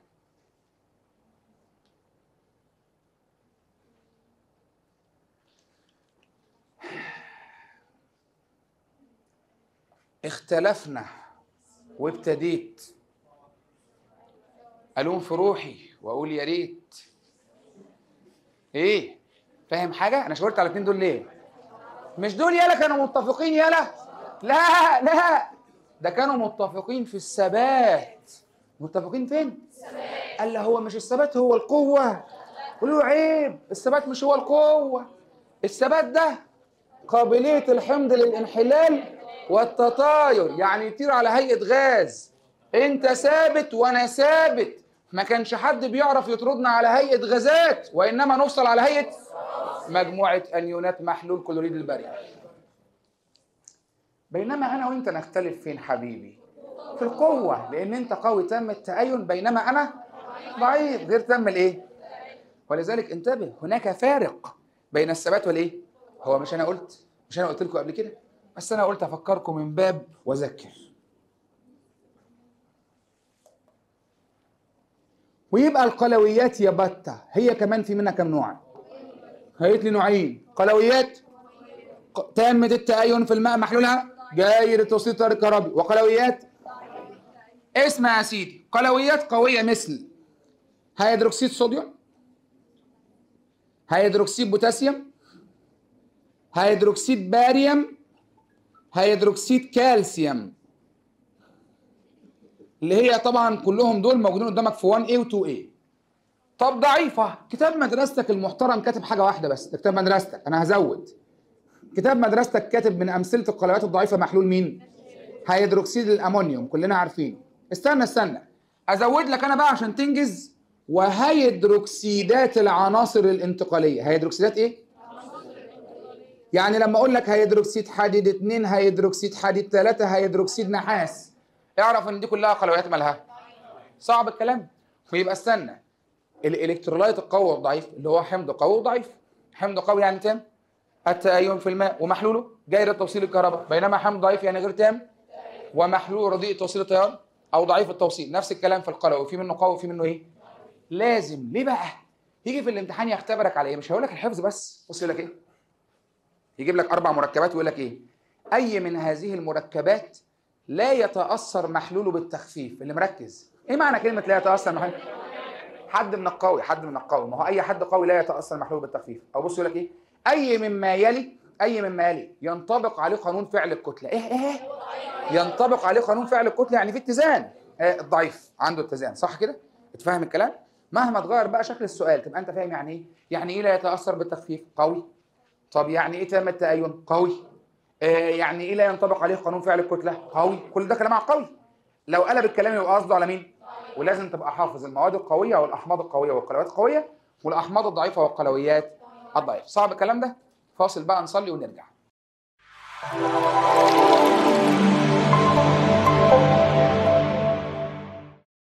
بعد كده بقى إن شاء الله يا جماعة ركز بقى يا حبيب قلبي معايا هنخش على شرح قانون إثبات قانون اسمه قانون استفالد قانون إيه على؟ هذا الرجل يسمى استفالد أو استوالد عشان أنت عارف إن في بعض اللغات بتنطق ال W V فيبقى اسمه استفالد أو استوالد عارف أنت الكلام ده؟ أنا عارف طبعا. زي مثلا في ماركة السيارات المشهورة المعروفة باسم فولكس. فيقول لك فولكس فاجن أو فولكس واجن. صح أنت؟ واجن وفاجن. مالناش دعوة بيهم بقى. يلا يا حبيبي. بص بقى آه ستيفلد ده يا جماعة هيثبت الكلام اللي إحنا أصلا شفناه في التجربة. واحد يقول لي هو إيه اللي إحنا شفناه في التجربة؟ بص بقى سؤال تاني. حمض الأسيتيك حبيب قلبي قوي ولا ضعيف؟ لأنه كان غير تام التأين صح؟ آه فاكر لما حطينا عليه مية أول مرة؟ أضاء المصباح إضاءة. حلو بقى. سؤال. في الخطوة الثانية لما حطينا له مية السؤال بقى مش أنت لما بتحط مية التركيز بيقل؟ يا جماعة مش ده حمض ليه تركيز. حطيت له مية يعني؟ إيه بخففه. يعني إيه بخففه؟ تركيزه ماله؟ سؤال بقى لما تركيزه قل تأينه قل ولا زاد؟ عرفت منين بقى إن تأينه زاد؟ شدة الإضاءة. يعني إيه؟ واضح جدا إن في علاقة إيه بين التركيز ودرجة تأينه. ده كان واضح في التجربة صح؟ الكلام ده بقى مين هيثبته؟ استفالد قانون يعرف باسم قانون. يبقى اولا قانون استفالد ده بيوضح العلاقة بين مين ومين؟ يبقى أول حاجة لازم تعرف إن قانون استفالد ده يوضح ها العلاقة بين مين ومين يا بين تركيز المحاليل الضعيفة ورمز للتركيز بالرمز مين؟ C اختصار لكلمة concentration. اسمع دي يا ولا ودرجة تأينها. ودرجة إيه؟ ورمز لدرجة التأين بالرمز ألفا. يبقى إحنا هيكون عندنا حبيبي قانون ستيفلد وهتشوف النهاية. علاقة بين مين ومين؟ اللي أنا وأنت أصلا عارفين من قبل الإثبات إن هي علاقة مالها. بس إحنا بقى هنثبت الكلام ده رياضيا. بص يا بابا آه وزي ما قلت يا جماعة وأنا بشرح قانون فعل الكتلة لو فاكرين أنا بس بفكرك. إن أنا قلت أوعى تذاكر لي آخر حتة في القانون وتقول لي أنا كده خلاص عارف أنا هحل إزاي. لازم تذاكر الإثبات خطوة خطوة عشان لو سألك في أي حاجة جوه الإثبات تبقى أنت فاهم. تبقى كده في وعاء للعلم. وعاء والوعاء ده لازم يكون طيب. انت لازم كده تنقي نفسك كده عشان تستقبل تبقى انت وعاء العلم. دماغك دي تبقى وعاء للعلم بدل ما تبقى حاجة تانية. والعلم ده شيء طيب صح كده؟ فلازم وعاء العلم هو كمان يبقى طيب. ولا ينفع يبقى حاجة تانية؟ ما ينفعش. وعاء العلم طيب عشان العلم شيء طيب. العلم مش طيب اللي هي طيب شيء جيد يعني. عشان بس واحد يقول لك طيب إزاي العلم طيب؟ طيب اللي هي شيء حسن يعني. لأن في ناس بتاخد المعنى الحرفي للكلام. بص يا بابا نبدأ الإثبات. ركزوا بقى يا جماعة لأن إحنا إيه هنمشي كلمة كلمة. الحتة اللي ما تفهمش مش هنعديها مش هينفع. لأن كل حتة مبنية على اللي قبلها. نبدأ. وخدوا بالكم إن أنا بسأل وأنا وأنا كمان بثبت. يقول لك في أول الكلام بفرض دي أول فرضية يا جماعة. بفرض أن لدينا حمض ضعيف. يبقى أول الكلام بيقول لك بفرض أن لدينا إيه؟ معلش يا حبايبي هو يعني إيه حمض ضعيف ما شاء الله عليكم. خدوا بالكم لأن إحنا كل شوية هنرجع للكلمة دي. أنتوا قلتوا حمض ضعيف يعني إيه؟ بفرض أن لدينا حمض ضعيف احادي البروتون. جماعة يعني إيه احادي البروتون؟ شطورة يا بطيخة. بتقول لك في H واحدة. صيغته الافتراضية. طبعا عارف أنتوا فاهمين يعني افتراضية. يعني فرضا صيغته الافتراضية HA يبقى بداية الإثبات يا جماعة بقول لك بفرض إن إحنا معانا حمض ضعيف معاه واحدة H يعني احاد البروتون ولتكن صيغته مين؟ HA اتفضلوا بقى حضرات. فإنه يتأين تبعا للمعادلة. سامع يا جماعة. أدي HA صح؟ اتفضلوا. أعمل السهم في كام اتجاه؟ ليه يا بابا؟ عرفت منين؟ لأن أنت قلت إن ده حمض إيه؟ هيتأين يدينا. ها؟ اتش موجب زائد إيه سالب. اسالكم بقى. هنا على المعادلة دي ينفع نطبق قانون فعل الكتلة ولا لأ؟ ينفع ولا ما ينفعش؟ طب ينفع ليه؟ عشان عندنا اتزان. صح ولا غلط؟ اسمع يا بيه. وبتطبيق قانون فعل مين؟ وبتطبيق قانون فعل الكتلة على المعادلة. لما نشوف اللي مركزين. أنا هديكم البداية. فإن K إيه؟ واحدة قالت لي آه. واخدة بالي منك أنا. K مين؟ ثابت الاتزان للحمض. مش ده حمض يالا؟ يبقى ال K بتاعته اسمها K إيه؟ K acid K acid. مش إيه مش acid يعني حمض؟ يبقى إحنا كده أخدنا كام K لحد دلوقتي؟ ثلاثة. ثابت الاتزان للتركيزات Kc. وثابت الاتزان للضغوط Kp. وثابت الاتزان للأحماض قولوا. تركيز؟ H موجب. مرفوع لأس؟ مضروب في تركيز. مرفوع لأس؟ على تركيز؟ مرفوع لأس؟ حبايب قلبي لحد كده صعب. كده إحنا خلصنا التلت الأول. صعب الكلام؟ يبقى بفرض إن إحنا عندنا حمض ضعيف أحادي البروتون ولتكن صيغته HA فلما هيتأين هيتأين تأين غير تام. يدي اتش موجب وإيه؟ سالب. ينفع نطبق قانون فعل؟ الكتلة. فتكون كي إيه للحمض تركيز اتش موجب في تركيز إيه سالب على تركيز اتش إيه صعب الكلام؟ حبيب قلبي اللي مرتب الأفكار مش أنت عشان تجيب Ka دي محتاج قيمة ده وقيمة ده وقيمة ده؟ ركز بقى في اللي جاي. الفرضية الثانية والأخيرة. بعد كده قلبت رياضة خلاص. وبفرض أنه تم إذابة واحد مول من الحمض. فرض إن إحنا جاوبنا يا جماعة؟ في حجم من المحلول في يبقى هو فرض يا جماعة إن هو ده قد إيه من الحمض؟ واحد مول. في حجم من المحلول مقداره كام؟ اسالكم بقى. هو قال هحط واحد مول من الحمض في حجم المحلول فيه هل الواحد مول ده كله هيتأين ولا جزء هيتأين وجزء لا؟ يا جماعة ركزوا هل كله هيتأين ولا جزء آه وجزء لا؟ طب عرفتوا منين إن جزء آه وجزء لا؟ أنت تاني يا مستر؟ أنت تاني؟ لأن الحمض ماله. اسمع دي بقى اللي بتفهم رياضة. قام قايل ستيفا بقى؟ أنتوا قلتوا جزء هيتأين وجزء لا. قال لك فإن عدد المولات المتأينة عدد المولات الايه؟ يعني الجزء اللي هيتأين وقام رمز له بالرمز مين؟ طب حبايبي إذا كانت المتأينة ألفا وعدد المولات غير المتأينة يبقى كام؟ الله عليكي الله عليكي. إيه يا بنت الشطاره دي يا بنت؟ تقول لك واحد ناقص إيه؟ طبعا بقى تلاقي واحد قاعد مزبهل كده يقول لك عملوها إزاي؟ بابا هو كان واحد مول واحد مول. اتأين منه سين. في جزء اتأين يبقى الجزء اللي ما اتأينش واحد ناقص سين. في إيه مالك؟ الواحد ناقص الحبه اللي اتأينه صح؟ يبقى هنا هو كان واحد مول. أنتوا قلتوا جزء هيتأين وجزء إيه؟ فهو قال فإن عدد المولات المتأينه كام؟ يبقى غير المتأينه صعب الكلام لحد كده؟ اللي بعده وبما أن معلش يا جماعة السؤال من الباب الثاني هو قانون التركيز المولاري تركيز أي حد بيساوي مين على مين؟ والله يا مستر تركيز أي حد بيساوي عدد مولات المذاب. على حجم المحلول بالإيه؟ الله ينور على اللي مذاكر الباب الثاني باحترام كده. تعالى لي بقى يا حاج أنا هقول أول واحدة. اذا يلا مع بعض. تركيز H موجب أنا اللي هقول دي وأنتوا هتكملوا من بعدي. فأنا قمت سائل نفسي هو يا عم خالد؟ H موجب ده متأين ولا مش متأين؟ متأين. يبقى عدد مولاته ألفا. مش متأينة ألفا؟ وحجم المحلول باللتر. في صعب اللي أنا عملته ده. ما أنت قلت تركيز H تركيز أي حاجة عدد مولاتها على حجمها باللتر. فانا سألت H ده المتأين ولا غير متأين؟ قال لي لا ده المتأين يبقى عدد مولاته ألفا وحجمه باللتر. كمان مرة اتفضلوا. ويبقى تركيز A سالب؟ ردوا. متأين ده ولا غير متأين؟ متأين يبقى عدد مولاته برافو. على حجمه باللتر. عاش بطل. خش على اللي بعده. طب وتركيز اتش إيه؟ متأين ده ولا غير متأين غير متأين يبقى عدد مولاته واحد ناقص ألفا في حد تاه مننا؟ بس كده. طب ما انت كده جبت يا راجل طيب. انت كده جبت تركيز مين؟ اتش وجبت تركيز مين؟ وجبت تركيز مين؟ طب ما خلاص عوض. مش انت معاك قيمتهم؟ عوض. وبالتعويض في معادلة ثابت الاتزان. أسمعكم. بس بالراحة بقى يا جماعة يعني الناس اللي متمكنة في الرياضة تاخد بالها من الناس الكحيانة اللي زيي. يبقى كي إيه بتساوي؟ ألفا على في في ألفا على في على. واحد ناقص ألفا على في صعب الكلام لحد كده؟ صعب. بص برضو. بص. خليك بقى انت كده ما تراعيش الناس الغلابة اللي زينا. مش هرد عليك. صعب لحد كده يا جماعة؟ يبقى انت شلت كل حاجة وحطيت قيمتها. ألفا على V في ألفا على V على واحد ناقص ألفا على V ألفا في ألفا.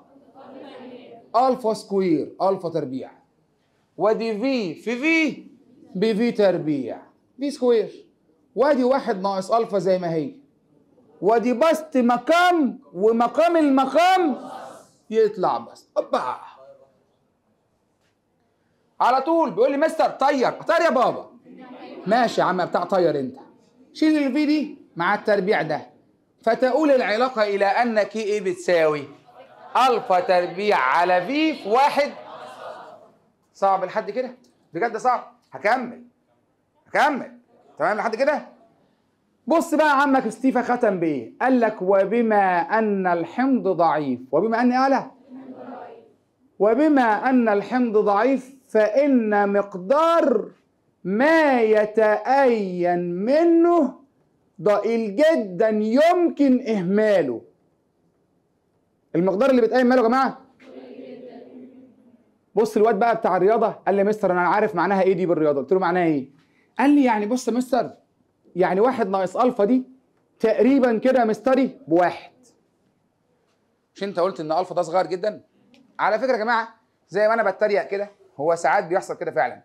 ساعات بتبقى ألفا ده المقدار اللي اتأين ساعات بيوصل مثلا لأرقام زي واحد في 10 اس سالب 9 يعني واحد من مليار.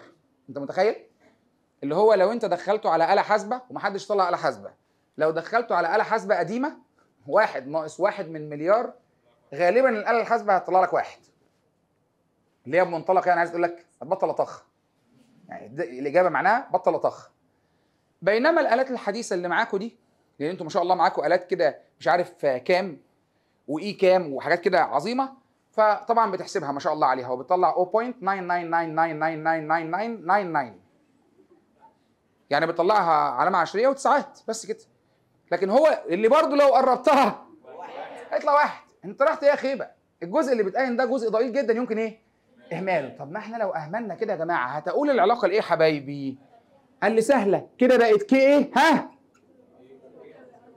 الفا تربيع على على V صح ولا غلط يا جماعة ما هو واحد ناقص ألفا بقت بواحد خلاص. يبقى كده Ka بتساوي ألفا تربيع على إيه؟ آخر سؤال بقى حبايبي هو مش التركيز يا جماعة بيرمز ليه بالرمز C؟ التركيز C صح؟ هو مش التركيز عدد المولات على الحجم باللتر؟ في المثال بتاعنا ده عدد المولات كان كام؟ والحجم باللتر كان؟ إيه ده يا ولا؟ يعني واحد على V بتساوي مين؟ هي مش V اللي في المقام دي؟ معناها إن البسط بتاعها واحد؟ شيل يا ولا. شيل شيل. فاهم؟ إيه؟ مش انت قلت واحد على V بتساوي C. عدد المولات على الحجم باللتر بيساوي التركيز. صح ولا غلط؟ خلاص يبقى واحد على V بتساوي مين؟ شيل يا حبيب قلبي. يبقى تقول العلاقة إلى أن في C. صعب الكلام يا عم الناس. صعب الإثبات. اسمع بقى يا ابني تاني بس حاول عينيك تلحقني وأنا بتكلم. ناس الكحيانه بقى. يبقى تاني. بفرض أن لدينا حمض ضعيف أحادي البروتون صيغته الافتراضية HA فإنه يتأين تأين غير تام صح؟ يدينا H موجب و A سالب. هنا يمكن تطبيق قانون فعل الايه يبقى كي إيه له بيساوي تركيز اتش موجب في تركيز إيه سالب على تركيز اتش اي صح؟ وبفرض أنه تم اذابه واحد مول من الحمض. في حجم من المحلول كام؟ فإن عدد المولات اللي هتتأين ألفا وعدد المولات اللي مش هتتأين واحد ناقص ألفا. وبما أن التركيز بيساوي عدد المولات على الحجم باللتر فإن تركيز اتش المتأينه ألفا على في وتركيز إيه المتأينه وتركيز اتش إيه الغير متأينه وبالتعويض في معادلة ثابت الاتزان Ka يبقى Ka بتساوي ألفا على V في ألفا على V على واحد ناقص ألفا على V صح كده؟ فإن Ka بتساوي كده ألفا في ألفا بقت ألفا تربيع و V تربيع في المقام واحد ناقص ألفا و V اللي كانت تحت خالص مقام المقام طلعت بسط. طيرت ال V مع التربيع فتقول العلاقة إلى ان Ka بتساوي الفا تربيع على V في واحد ناقص الفا صح؟ ولكن الحمض ضعيف فإن الفا ده مقدار ضئيل جدا يمكن. فتقول العلاقة إلى ان Ka بتساوي الفا تربيع على V وبما أن التركيز C بيساوي واحد على V يبقى Ka بتساوي الفا تربيع C صح كده؟ وهو ده الإثبات مفيهوش حاجة. بس هنا في ملاحظة. كتاب مدرستنا الجميل جايب الإثبات ده. بس مش كاتب تعريف بالعربي. فأنا وأنت عايزين نكتب بقى قانون بالعربي تعريف قانون استفالد. يبقى قانون استفالد. أنا هقول لكم البداية. عند ثبوت درجة الحرارة. عند إيه؟ فاللي مذاكرة قالت لي عارفة عارفة. اللي أنت بتقوله ده مش جديد عليا. ما أنت لما قلت عند ثبوت درجة الحرارة كأنك قلت عند ثبوت Ka؟ صح ولا غلط؟ لأن كل الكيهات ثابتة بثبوت درجة. ولا ما قلتش أنا عم الناس؟ يبقى انت لما تقول عند ثبوت درجة الحرارة يعني عند الثبوت دي؟ يلا بتوع الرياضة. عند الثبوت دي يا بتوع الرياضة. بتوع الرياضة. عند الثبوت دي إيه العلاقة بين الاثنين دول؟ عكسية. يبقى انت يا ولا. كل ما هتقل ولا. كل ما أنا إيه؟ بس استنى لسه عايزين نسمعها عدل. تعالى لي بقى يا حبيبي عشان نقول أنا وانت مع بعض نص قانون أستفالد باللغة العربية. يلا يا بيه. يبقى نبدأ. بسم الله. عند إيه ولا؟ بسم الله. عند ثبوت. درجة الحرارة يتناسب تركيز الحمض الضعيف أو يتناسب تركيز الحمض. ما حمض ضعيف كل ده الأحماض ضعيف. يتناسب تركيز إيه؟ الحمض اللي هو سي صح؟ تناسبا. إيه يالا عكسيا مع مربع درجة تأينه. مع مربع إيه؟ صعب الكلام يا جماعة. استنوني بقى. فواحد قال لي معلش بس يا مستر عشان انت نسيت حاجة. قلت له إيه يا حبيبي؟ قال لي ممكن تقول لنا إيه الرموز دي؟ قلت له ماله حبيب قلبي؟ حيث كي إيه؟ ثابت اتزان الحمض أو اسمه ثابت تأين الحمض. صعب الكلام؟ شايفين ألفا دي؟ ألفا دي ليها أربع أسماء. درجة أو نسبة؟ درجة إيه؟ درجة تفكك درجة تأين. تقول درجة إيه أو درجة إيه؟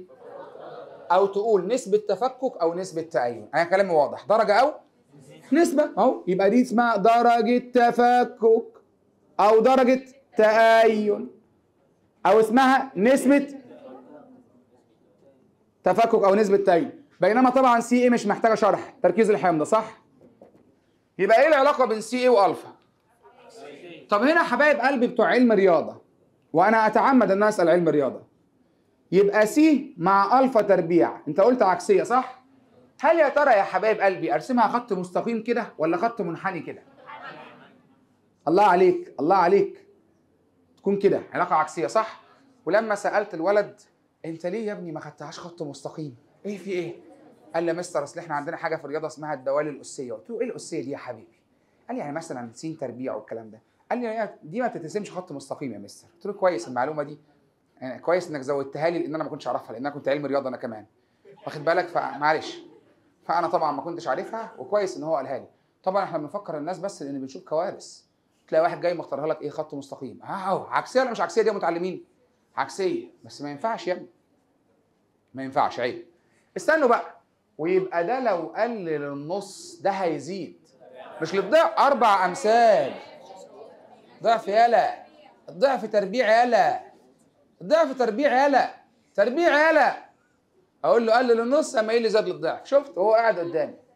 عشان بس انت بترجع تقول هو ليه بيتنرفز. أنا بس بوريك. والمصيبة ان هو يقول لك أنا علم رياضة. ده لو قالها بص اوعى تقول علم رياضة.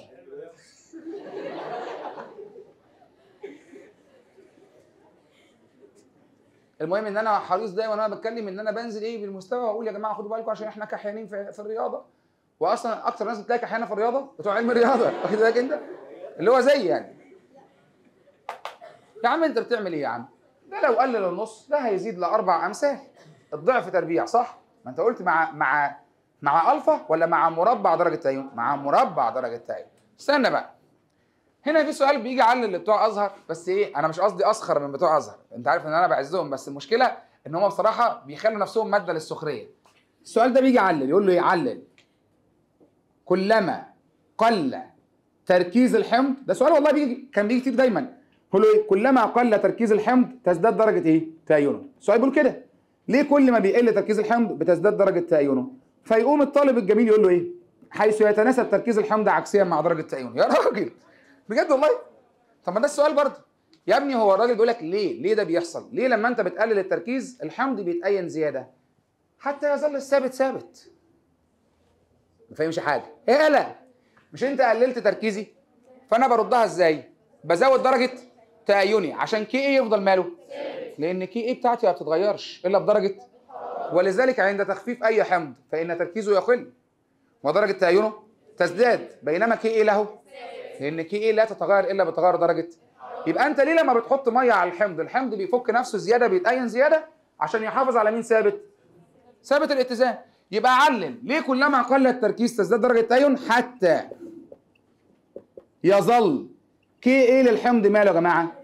حتى يظل كي إيه للحمض ماله ثابتا. اسمع دي بقى كمان محترم. بص بيقول لك إيه؟ عشان فيها علل برضه. بيقول لك يستدل على قوة الأحماض. يستدل على مين؟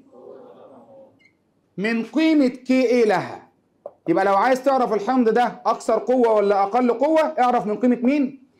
هكتب الإجابة وأشرح لك. بيقول لك حيث تتناسب كي إيه؟ للحمض. تناسبا طرديا مع قوته.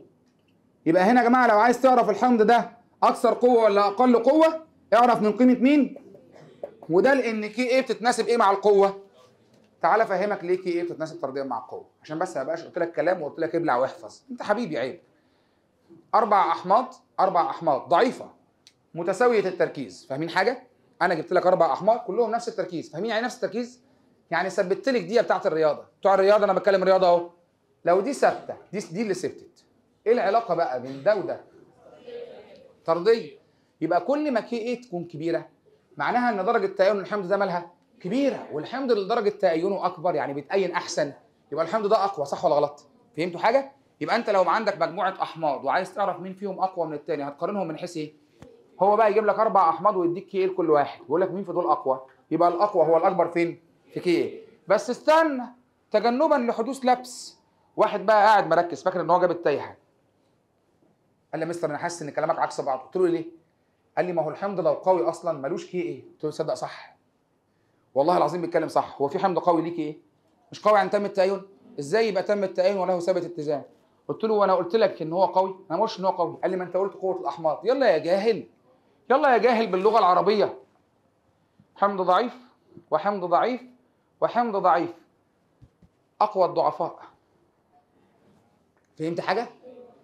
أنا ضعيف معاهم. أنا ما قلتلكش إن أنا قوي. طب والله ضعيف. بس إيه؟ بس كده. يبقى إحنا مش كلنا في نفس الضعف أصلا عشان أنت يكون لك كي إيه يبقى أنت ضعيف. طب إيه قوة دي؟ يا ريت. هم مجموعة احماض ضعيفة بينهم وبين بعض. هل كلهم على نفس الضعف؟ لا. طب ما هو ربنا وصفنا كلنا إن إحنا ضعفاء صح ولا غلط؟ بس إحنا الضعفاء دول اللي هو إحنا كلنا كل البني آدمين درجات. في منهم في يوم القيامة ناس هتستكبر يقول لك وقال الذين استضعفوا للذين استكبروا صح؟ إنا كنا لكم تبعا. طب ما هو إيه ده؟ هو الضعيف في منه درجتين؟ آه في منه درجتين. في ضعيف خالص وفي أعلى شوية صح ولا غلط؟ بس كده. فاستنى بقى. افتح لي كده عشان بس إيه؟ نشوف حاجة حلوة كده مع بعض. صفحة 32 معلش أنا بس عايز أشوف حاجة منكم. هسألكم سؤال هسألكم سؤال ما تخافوش. صفحة 32 في الصفحة من فوق جايب لك هو ست أحماض ومديك قيمة كي إيه صح؟ معلش يا جماعة عشان خاطري بس. بصوا على الأرقام كويس. ده اختبار اختبار حساب. مش هقول رياضة ما ينفعش أقول رياضة. اختبار حساب معلش. شايفين الأرقام كويس؟ بصوا لها يا جماعة تأملوها. أنا عايزك تتأمل الرقم. عايزك تتأمل الرقم وتعجب بيه. يعني أنا عايزك تحب الرقم. حب الرقم الأول. حبيت الرقم؟ أخدت وقتك في إنك تحبه؟ يا ابني حبيت الرقم. طب حلو. يعني شفت ست أرقام كويس؟ سؤال بقى. مين أقوى واحد في الستة احماض دول؟ حمض مين؟ برافو. حمض الكبريتوز لأن قيمة كي إيه بتاعته؟ واحد وسبعة من عشرة. في عشرة بس كام؟ واحدة امبارح بتقول لي إزاي يعني؟ واحد وسبعة من عشرة هو الكبير.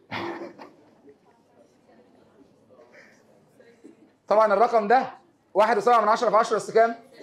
أما الباقيين كلهم كلهم اللي مضروب في 10 السالب 4 واللي في 10 السالب 5 صح؟ يبقى أكبر رقم حمض الكبريتوز ده أقوى واحد. كمل. طب مين أضعف واحد؟ حمض البوريك صح؟ لأن مش عارف الرقم كده مضروب في 10 السالب كام؟ السالب 10 اتفهمت؟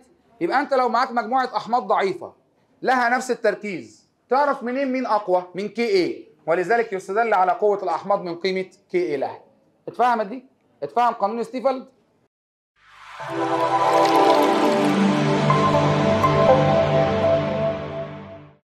قبل ما نخش في الجزء الأخير بقى تعالى ناخد مسألة مثلا. بص يا جماعة أحب أطمنك. بص يا جماعة أحب أطمنك لحاجة إن مسائل المسائل اللي بتيجي على قانون ستيفلد ما فيهاش صعوبة يا جماعة والناس ما تقعدش بقى يا جماعة تقول لي إيه؟ يا بابا بقول لك إيه؟ هو إحنا إيه الفاصل بيننا؟ بص الامتحانات آخر السنة بتاعت الدفعتين اللي قبلك. واتفرج على الامتحان. هتلاقي الأسئلة عادية خالص. والله العظيم عادية. طب بص كده. أهم حاجة في المسائل إنك تطلع معطيات عدل. مسألة بتقول احسب اسمع كده كويس احسب درجة تأين حمض. احسب إيه؟ أول ما قال لي احسب درجة تأين قمت أنا كاتب الفا علامة استفهام. ما هي الفا هي درجة إيه؟ لمحلول حمض ضعيف تركيزه واحد من عشرة مولر. هو قال تركيزه؟ يبقى الراجل الطيب ده مدينا concentration of acid بكام؟ علما بأن ثابت اتزان الحمض بس بس. Ka سبعة واتنين من عشرة في عشرة أس سالب عشرة.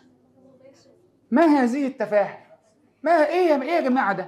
أنا أول حاجة لأن أنت عارف إن أنا كحيان رياضة فقمت قايل بما ان Ka؟ ألفا تربيع في C. بس هو مش عايز Ka؟ ده هو عايز ألفا يا حبيب قلبي يا محترم يا اللي ورا. فأنا قلت بما ان Ka بتساوي ألفا تربيع في C يبقى ألفا تربيع بتساوي Ka؟ على C ويبقى ألفا بس بيساوي.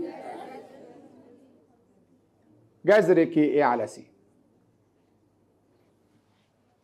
تمام؟ طب ما خلاص يبقى كده هنعوض تعويض إيه؟ ويبقى على الآلة الحاسبة هتقوم قايل جذر. Ka عندك كانت سبعة واتنين من عشرة في عشرة أس سالب عشرة على وتطلع الناتج يبقى ألفا. مبروك عليك جبت مين؟ جبت ألفا. صعب الكلام ده يا جماعة؟ وهكذا يعني. طب بص بقى يا عم الناس. عندنا بعد كده كمان إثباتين. أنا بقى عن نفسي أحب أكد لطالب المحترم قبل ما نشرح إن إحنا هنشرح هنا أنا هشرح هنا. واللي أنا هعمله هنا ده أنت هتاخده copy paste هتنقله هو هو. نفس الكلام مع تغيير حرف واحد. في حرف كده نقعد نغيره أما نشوف هيركزوا ولا لأ. ولذلك خدوا بالكم يا جماعة أنا هشرح ده وأنت هتشرحه ده. ان أنا بقول ان دول مش حاجتين. عيب بس والله والله حاجة واحدة. هتشوف دلوقتي. بس سؤالين بس في الأول. هي الأحماض لما بتتأين في المية بتدي أيونات إيه؟ أيون مين اللي ثابت فيها؟ H موجب. أيونات H الموجبة اللي هي الهيدرونيوم صح؟ أمال القلويات لما بتتأين بتدي إيه؟ معروف. الأحماض مواد تتأين في الماء معطيه أيونات H الموجبة. بينما القلويات مواد تتأين في الماء معطيه أيونات اسمع يا عم الناس. بيقول لك هناخد قانون اثباته يا جماعة. حساب. تركيز. كله معايا يا جماعة السبورة. حساب تركيز أيون الهيدرينيوم. هناخد حساب إيه؟ اللي هو بين قوسين H3O للأحماض الضعيفة. ليه أنا بنبه من قبل ما أقول أي كلمة. يبقى اللي إحنا هنشرحه ده حساب تركيز أيون هيدرينيوم. لحمض ماله؟ بسم الله. نبدأ الإثبات. بيقول لك بفرض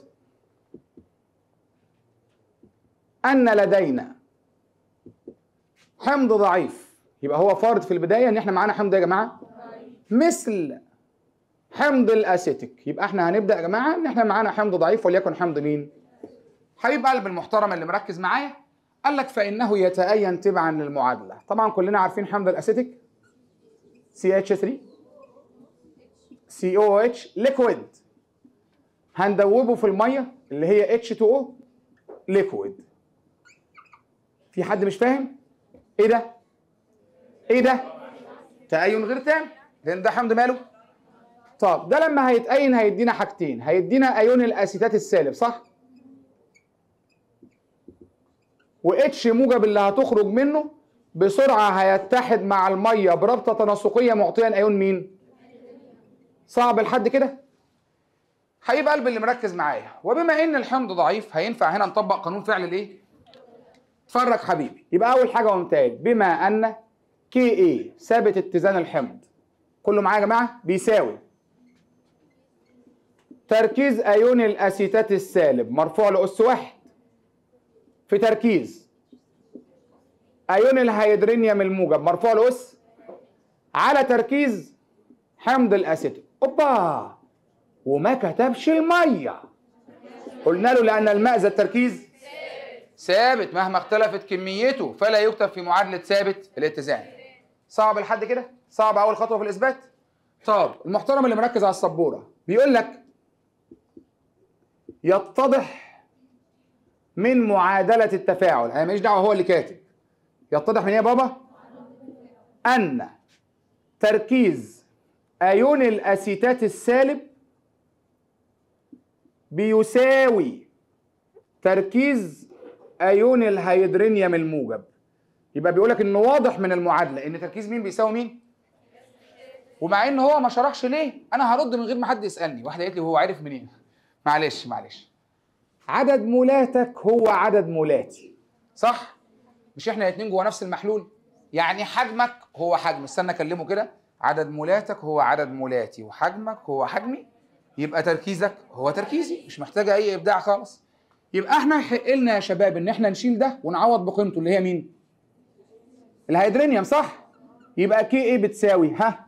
هيدرينيوم في هيدرينيوم بقت صعب الكلام على حد. طب قبل بقى ما أكتب لكم الحتة اللي تحت صعب يا جماعة لحد كده بجد؟ فهمت أنا عملت إيه؟ ما هو ده بيساوي ده يبقى ينفع نشيل الاسيتات ونحط مكانها مين؟ هيدرينيوم. يلا يا بابا يبقى كي إيه بتساوي تركيز ايون الهيدرينيوم إيه؟ سؤال هو اللي مكتوب ده تركيز الحمض عند البدء ولا تركيز الحمض عند الاتزان؟ عند الاتزان. مش هو أي ثابت اتزان تركيزاتها عند الاتزان؟ حد يعرف يقول لي تركيز الحمض عند الاتزان بكام؟ أنا هقولها. تركيز الحمض عند الاتزان يبقى اسمه سي اي ناقص ألفا. واحدة قالت لي مش فاهمة. يا بت تركيز الحمض في البداية كان اسمه Ca concentration of acid ولنفترض زي أستفالد مش كام واحد عند الاتزان بقى اللي اتبقى مني بعد ما في جزء اتأين برضه سي اي ولا سي ناقص ألفا؟ لأن في جزء اتأين مش في جزء اتأين يبقى تركيزي عند الاتزان بيساوي تركيزي عند البدء ناقص ألفا اللي هو الجزء اللي اتأين. صعب لحد كده؟ اسمع بقى دي. يلا زي أستفالد. هو مش أستفالد قال وبما أن الحمض ضعيف. يلا يا جماعة. فإن إيه؟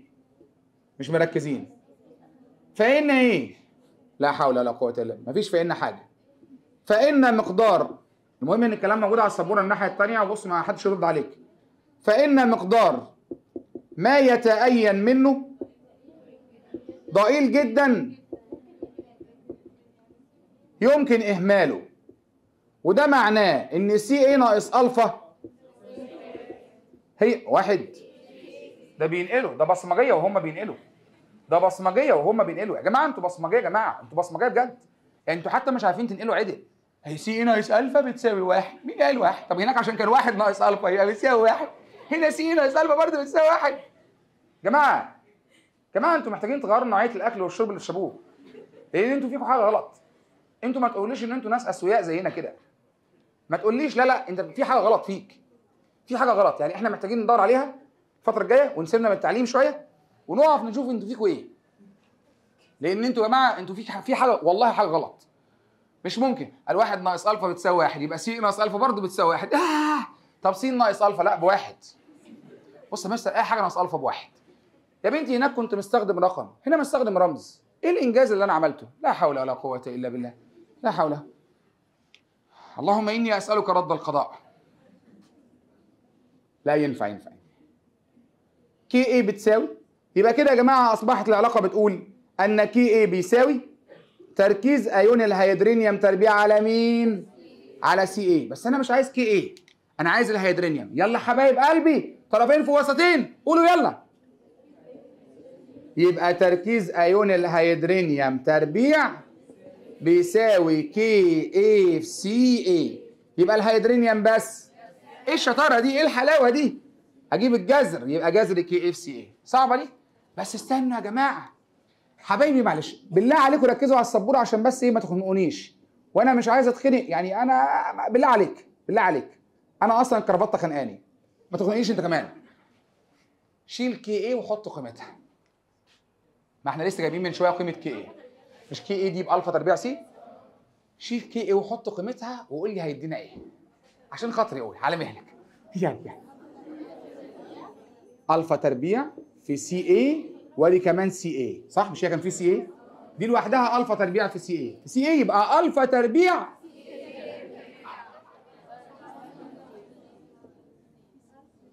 فهمت حاجة؟ يبقى تركيز آيون الهيدرونيوم يتجاب من حاجتين. يا يتجاب بمعلومية ثابت الاتزان والتركيز يا يتجاب بمعلومية ألفا اللي هي درجة التأين والتركيز. اتفهم جت منين؟ يبقى تركيز آيون الهيدرونيوم لأي حمض ضعيف جذر Ka في Ca أو بيساوي ألفا C. صعب الكلام اتفهم الإثبات؟ ها. بس انتبه لحاجة.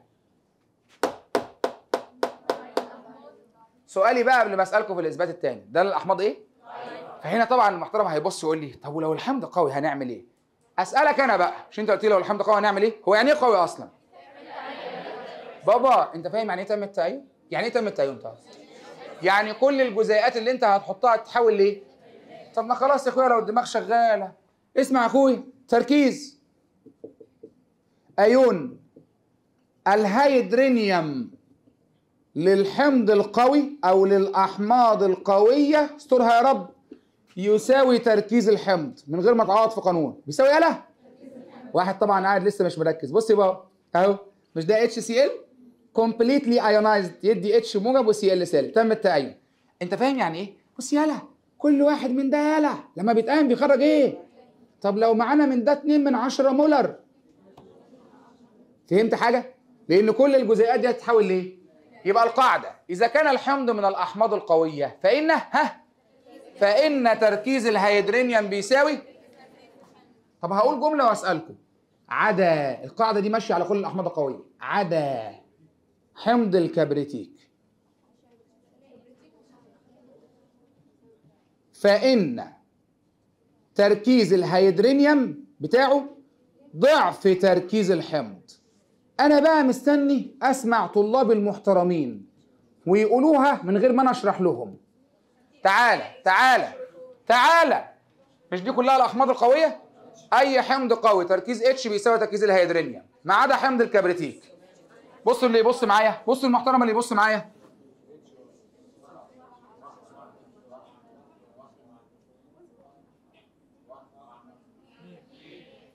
إلا ده. لأن ده الوحيد اللي لما بيتأين ما بيخرجش واحدة H بيخرج كام؟ يعني كل مول منه بيخرج 2 H اكتب معادلة تأينه؟ وبالتالي لو معاك منه 2 من 10 مولر هيديك قد إيه من الهيدرونيوم 4 من 10 يبقى ثواني. إحنا كده شرحنا ثلاث حاجات. لو الحمض ضعيف هي قاعدة واحدة. صح؟ أهي قوانين حساب تركيز الهيدرونيوم. جذر Ka في Ca أو ألفا في C ده لو الحمض ماله؟ طب رد عليا. أمال لو الحمض قوي؟ تركيز الحمض بيساوي؟ تركيز ايون الهيدرونيوم ما عدا حمض مين؟ اشمعنى ما عدا حمض الكبريتيك؟ ويبقى سؤال لو جاب لك في الامتحان بص يجيب لك إيه؟ بيجيب لك اختيارات. يجيب لك أربع أحماض ويقول لك أنهي واحد من دول بيدي أيون هيدرونيوم أكتر. ويقوم جايب لك إيه؟ حمض أسيتيك نص مولر ولا حمض كبريتوز نص مولر ولا حمض اتش سي ال نص مولر ولا حمض كبريتيك نص مولر. اولا هتستبعد اتنين لو أنت مركز معايا. هتستبعد الأسيتيك والكبريتوز لأنها أحماض ضعيفة. طب ما انت عندك اتش سي ال نص مولر وحمض كبريتيك نص مولر. لا يبقى حمض كبريتيك. لأن الاتش سي ال لو في منه نص مولر هيديك أيونات H بنص. لكن حمض الكبريتيك لو نص مولر هيديك أيونات هيدرونيوم واحد مولر. صح ولا غلط؟ لأن تركيز أيون الهيدرونيوم بتاعه هيبقى ضعف تركيز الحمض. اتفهمت ليه ضعف تركيز الحمض؟ قالت لي آه لأن حمض الكبريتيك لما بيتأين هي بقى معادلة تأينه يحسن يكون حد قاعد عمال يهز دماغه ومش فاهم أنا بقول إيه. مش ده لما بيتأين بيدي 2 H موجب و SO 4 سالب؟ يعني لو لو لو مثلا معانا منه أهو الواحد الواحد أهو بيخرج كام؟ فلو معاك منه 4 من 10 مولر هيخرج لك H 8 من 10 مولر. ضعف التركيز. صعب الكلام؟ ده كده بالنسبة للأحماض الضعيفة وال- والأحماض إيه يا جماعة؟ هي القلويات بقى بتتأين تدي إيه؟ يبقى إحنا هناخد مع بعض حساب. تركيز أيون الهيدروكسيل بقى للقلويات أنا هكتب لكم المعادلة وانتوا بقى اللي هتقولوا نفس الكلام زي ما أنا عملت. بفرض أن لدينا إيه محترم اللي ورا؟ قلوي ضعيف مثل مين؟ مثل غاز النشادر أو محلول النشادر. بص يا بابا أدي النشادر غاز يدوب في المية اللي هي H2O أو HOH براحتك. أنا بحب أكتبها كده بصراحة لأن أنت عارف مستواي على قد شوية في الكيمياء. تأين غير تام. NH3 بتاخد الاتش يدينا NH4 موجب وادي OH سالب اتفضلوا يا بهوات هنا هينفع نطبق قانون فعل الكتلة ولا لا؟ آه، ممكن يا جماعة وأنتوا بتنقلوا ما تبقوش بصمجية قوي. يعني بلاش واحد ناقص ألفا تاني. ده أنا بس حبيت انبهكم قبل ما تنقلوا. اللي هو بص أنت بتحاكي الموضوع بس مش بغباوة. أنت بتعمل حاجة أنا عملتها قبل كده فأنت المفروض تعملها بذكاء مش بغباوة. أقول أنا البداية ولا تقولوا أنتوا؟ الحمد لله قالت كي بي جدع يا بيت إيه الحلاوة دي؟ طب ليه ما قلتيش كي؟ إيه قالت لي عيب بقى. قالت لي عيب بقى ما تفرجش علينا الدنيا بقى. عيب عيب الحصة دي متذاعه ومتصورة. شكلنا هيبقى مش حلو. الناس تقول علينا إيه؟ صح على رأيكم. أهم حاجة الناس تقول علينا إيه؟ يلا يلا. يلا قول قول. قول يلا يبقى Kb بتساوي ها؟ تركيز مين؟ NH 4 موجب في تركيز. OH سالب ها. على تركيز النشادر والمية. هقول لك ما بتكدبش. الميه ما بتكتبش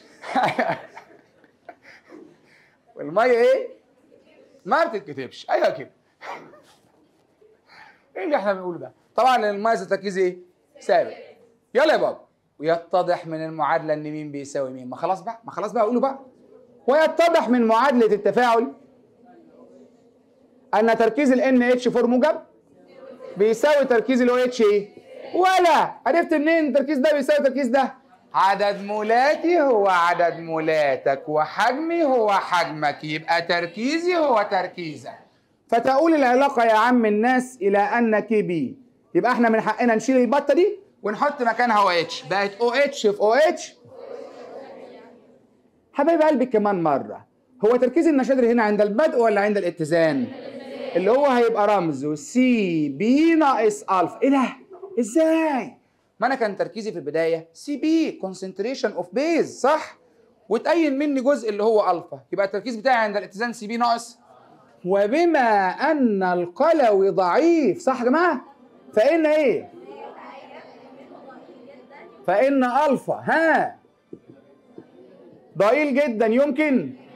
يعني سي إيه ناقص ألفا بتساوي؟ فإن Cb ناقص ألفا بتساوي؟ ما بتساويش واحد يعني. ماشي. فإن Cb ناقص ألفا خلاص اتعلمتوا يعني؟ خلاص ماشي. يبقى كده إيه؟ عفى الله عما سلف. أدام اتعلمت. يبقى يلا. يبقى Kb بتساوي تركيز ال OH على Cb. خلصها لي بقى. يلا. طرفين في وسطين. يبقى تركيز ال OH تربيع. بيساوي Kb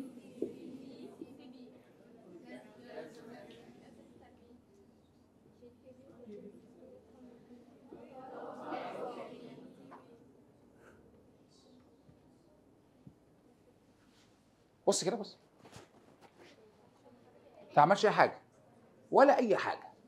أنت ولا عملت حاجة خالص. أنت كل اللي كنت عمال تشيله إنك عمال تشيل الإيهات بتاعت الحمض وتحط بيه بتاعت القلوي. بس ما غيرش أي حاجة. والقانون هو هو. والتاني هو هو هو. نفس الكلام. هو ده للقلوات إيه؟ تعال تعال. تركيز أيون الهيدروكسيل للقلوي ليه؟ رد يا ولد. يساوي تركيز القلوي صح ولا غلط؟ تعالى لي بقى مثال. ان أو اتش ده مش قلوي قوي؟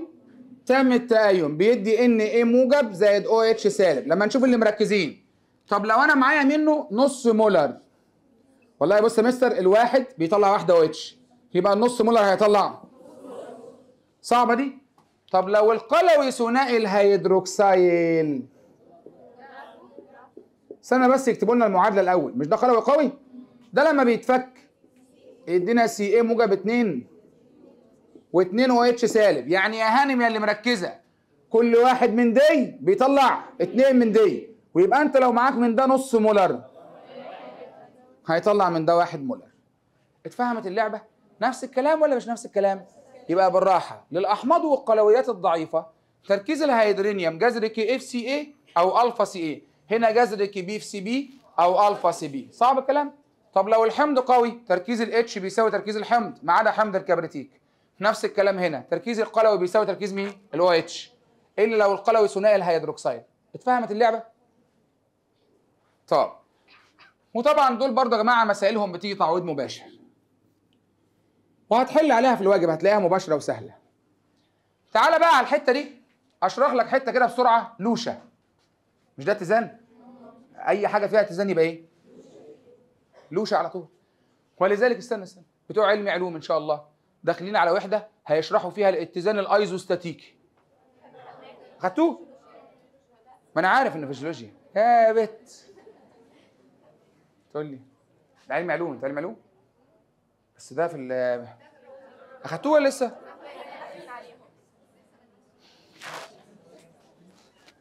ولا ولا. أي اتزان داخل في مين؟ لوشه بص يا بابا أنا هقول لكم الأولى يا جماعة. أي حمض قوي وليكن مثلا على سبيل المثال اتش سي ال بصوا يا جماعة عشان تجنبا للذكاء بس لأن هسألكم دلوقتي. أي حمض إيه؟ عند إضافة قطرات منه للمحلول. يعني أنت عندك محلول أصلا لحاجة وحطيت عليه قطرات من ده. أي حمض قوي بيعمل إيه؟ وهقنعك أي حمض قوي بيزود ال H موجب. في حد مش فاهم؟ جماعة هو مش الحمض القوي لما بيتأين بيدي H موجب؟ يبقى أي حمض قوي بيزود ال H أو ليها معنى تاني. بيقلل ال OH في حد مش فاهم؟ أيوه بابا أنا كحمض لما بدي H موجب ده ليها معنيين. معناها إن أنا بزود نسبة ال H أو بقلل بس كده. يبقى أي حمض لو قلت لك أضيف قطرات من كذا من حمض كذا وهو حمض قوي تعرف إن الحمض ده بيعمل واحدة من اثنين والاثنين معناهم واحد. بيزود اللي هي معناها بيقلل الاو اتش يعني أنا أقول لك على حاجة مثال تاني أهو لو قال لك مثلا استطاع خالد صقر رفع نسبة الذكاء في نهاية عام 2023 تفهم إيه؟ تفهم حاجتين إن هو زود الذكاء وقلل الغباء فقابلني لو ده حصل فهمت حاجة؟ مع إن أنا ما قلتش إن هو قلل الغباء أنا قلت إن هو زود بس نتيجة منطقية إن بما إن الذكاء زاد يبقى الغباء قل. صح كده يا جماعة ولا إيه؟ صح؟ ها؟ طب قولوا أنتوا بقى. طب لو إحنا جبنا قلوي قوي. استر عليا يا رب. زي ان أو اتش بقى. يلا ها حبايبي بقى حبايبي. هيعمل إيه؟ الله الله يا جماعة نغم والله. هيزود مين؟ يعني هيسحب مين؟ آه دي حلو. اسمع بقى يا عم الناس. السؤال ده السؤال اللي أنا هشرحه ده أول ما جه في امتحان أول سنة أوف كان عليه كميه كمية جدل. ملهاش حل مع إنه سؤال أهبل. كان بيقول لهم إيه؟ يتأين حمض الاسيتيك تبعا للمعادلة. CH3COOH liquid زائد H2O liquid تأين غير تام. يدينا حاجة اسمها أيون الأسيتات السالب وأدي أيون الهيدرينيوم الموجب. كويس؟ وقام سائل بقى بيقول إيه؟ اسمع كده. ما أثر كل من اللي أنا هقولهم دول على تركيز الأسيتات؟ في كل مرة لازم تقول لي إيه اللي حصل لمين؟ قبل ما نقول بس أثر مين. واضح جدا إن التفاعل ده لو مشي في الاتجاه الطردي تركيز الأسيتات هيزيد. بينما لو مشي عكسي صعب الكلام. هو قال له إيه بقى؟ واحد إضافة قطرات من اتش سي ال اتفضلوا. مش ده اتش سي ال هو بقى بيقول لك إن أنا هحط في المحلول ده قطرات من اتش سي ال هو ال هيزود مين؟ اللي هو ده صح؟ يعني إضافة المزيد من ده؟ طب ولما يضاف المزيد من ده يمشي إزاي؟ يبقى ينشط التفاعل في الاتجاه؟ فإيه اللي يحصل لدي؟ صعب الكلام؟ صعبة؟ يبقى الحمض ده لما نزل أنت قلت هيزود H H اللي هي الهيدرينيوم صح؟ يبقى هينشط التفاعل في الاتجاه؟ مكونا دول وبالتالي تركيز الأسيتات هيقل. طب ده بالنسبة لإضافة قطرات منين؟ طب إضافة قطرات منين؟ الأغبياء بقى الأغبياء مش أنتوا. قال لك بس هنا بقى مفيش OH يبقى لا يؤثر. غبي. ما هو هنا هيسحب مين؟ ما أنا لو ما قلتش يزود ال OH معناها إن هو هيسحب ال H نفس المعنى هيسحب ال H من حيز التفاعل. فالتفاعل هيمشي في الاتجاه لتعويض الجزء اللي اتسحب. مش إحنا قلنا إحداث سحب بيحرك التفاعل في اتجاه السحب فينشط في الاتجاه. مكونا للمزيد من الأستات فيزداد تركيز الأستات. اتفهمت دي؟ طب استنوا واحدة كمان عشان أتأكد إنها اتفهمت. يلا حتة للدلع. بي اتش بي اتش اتش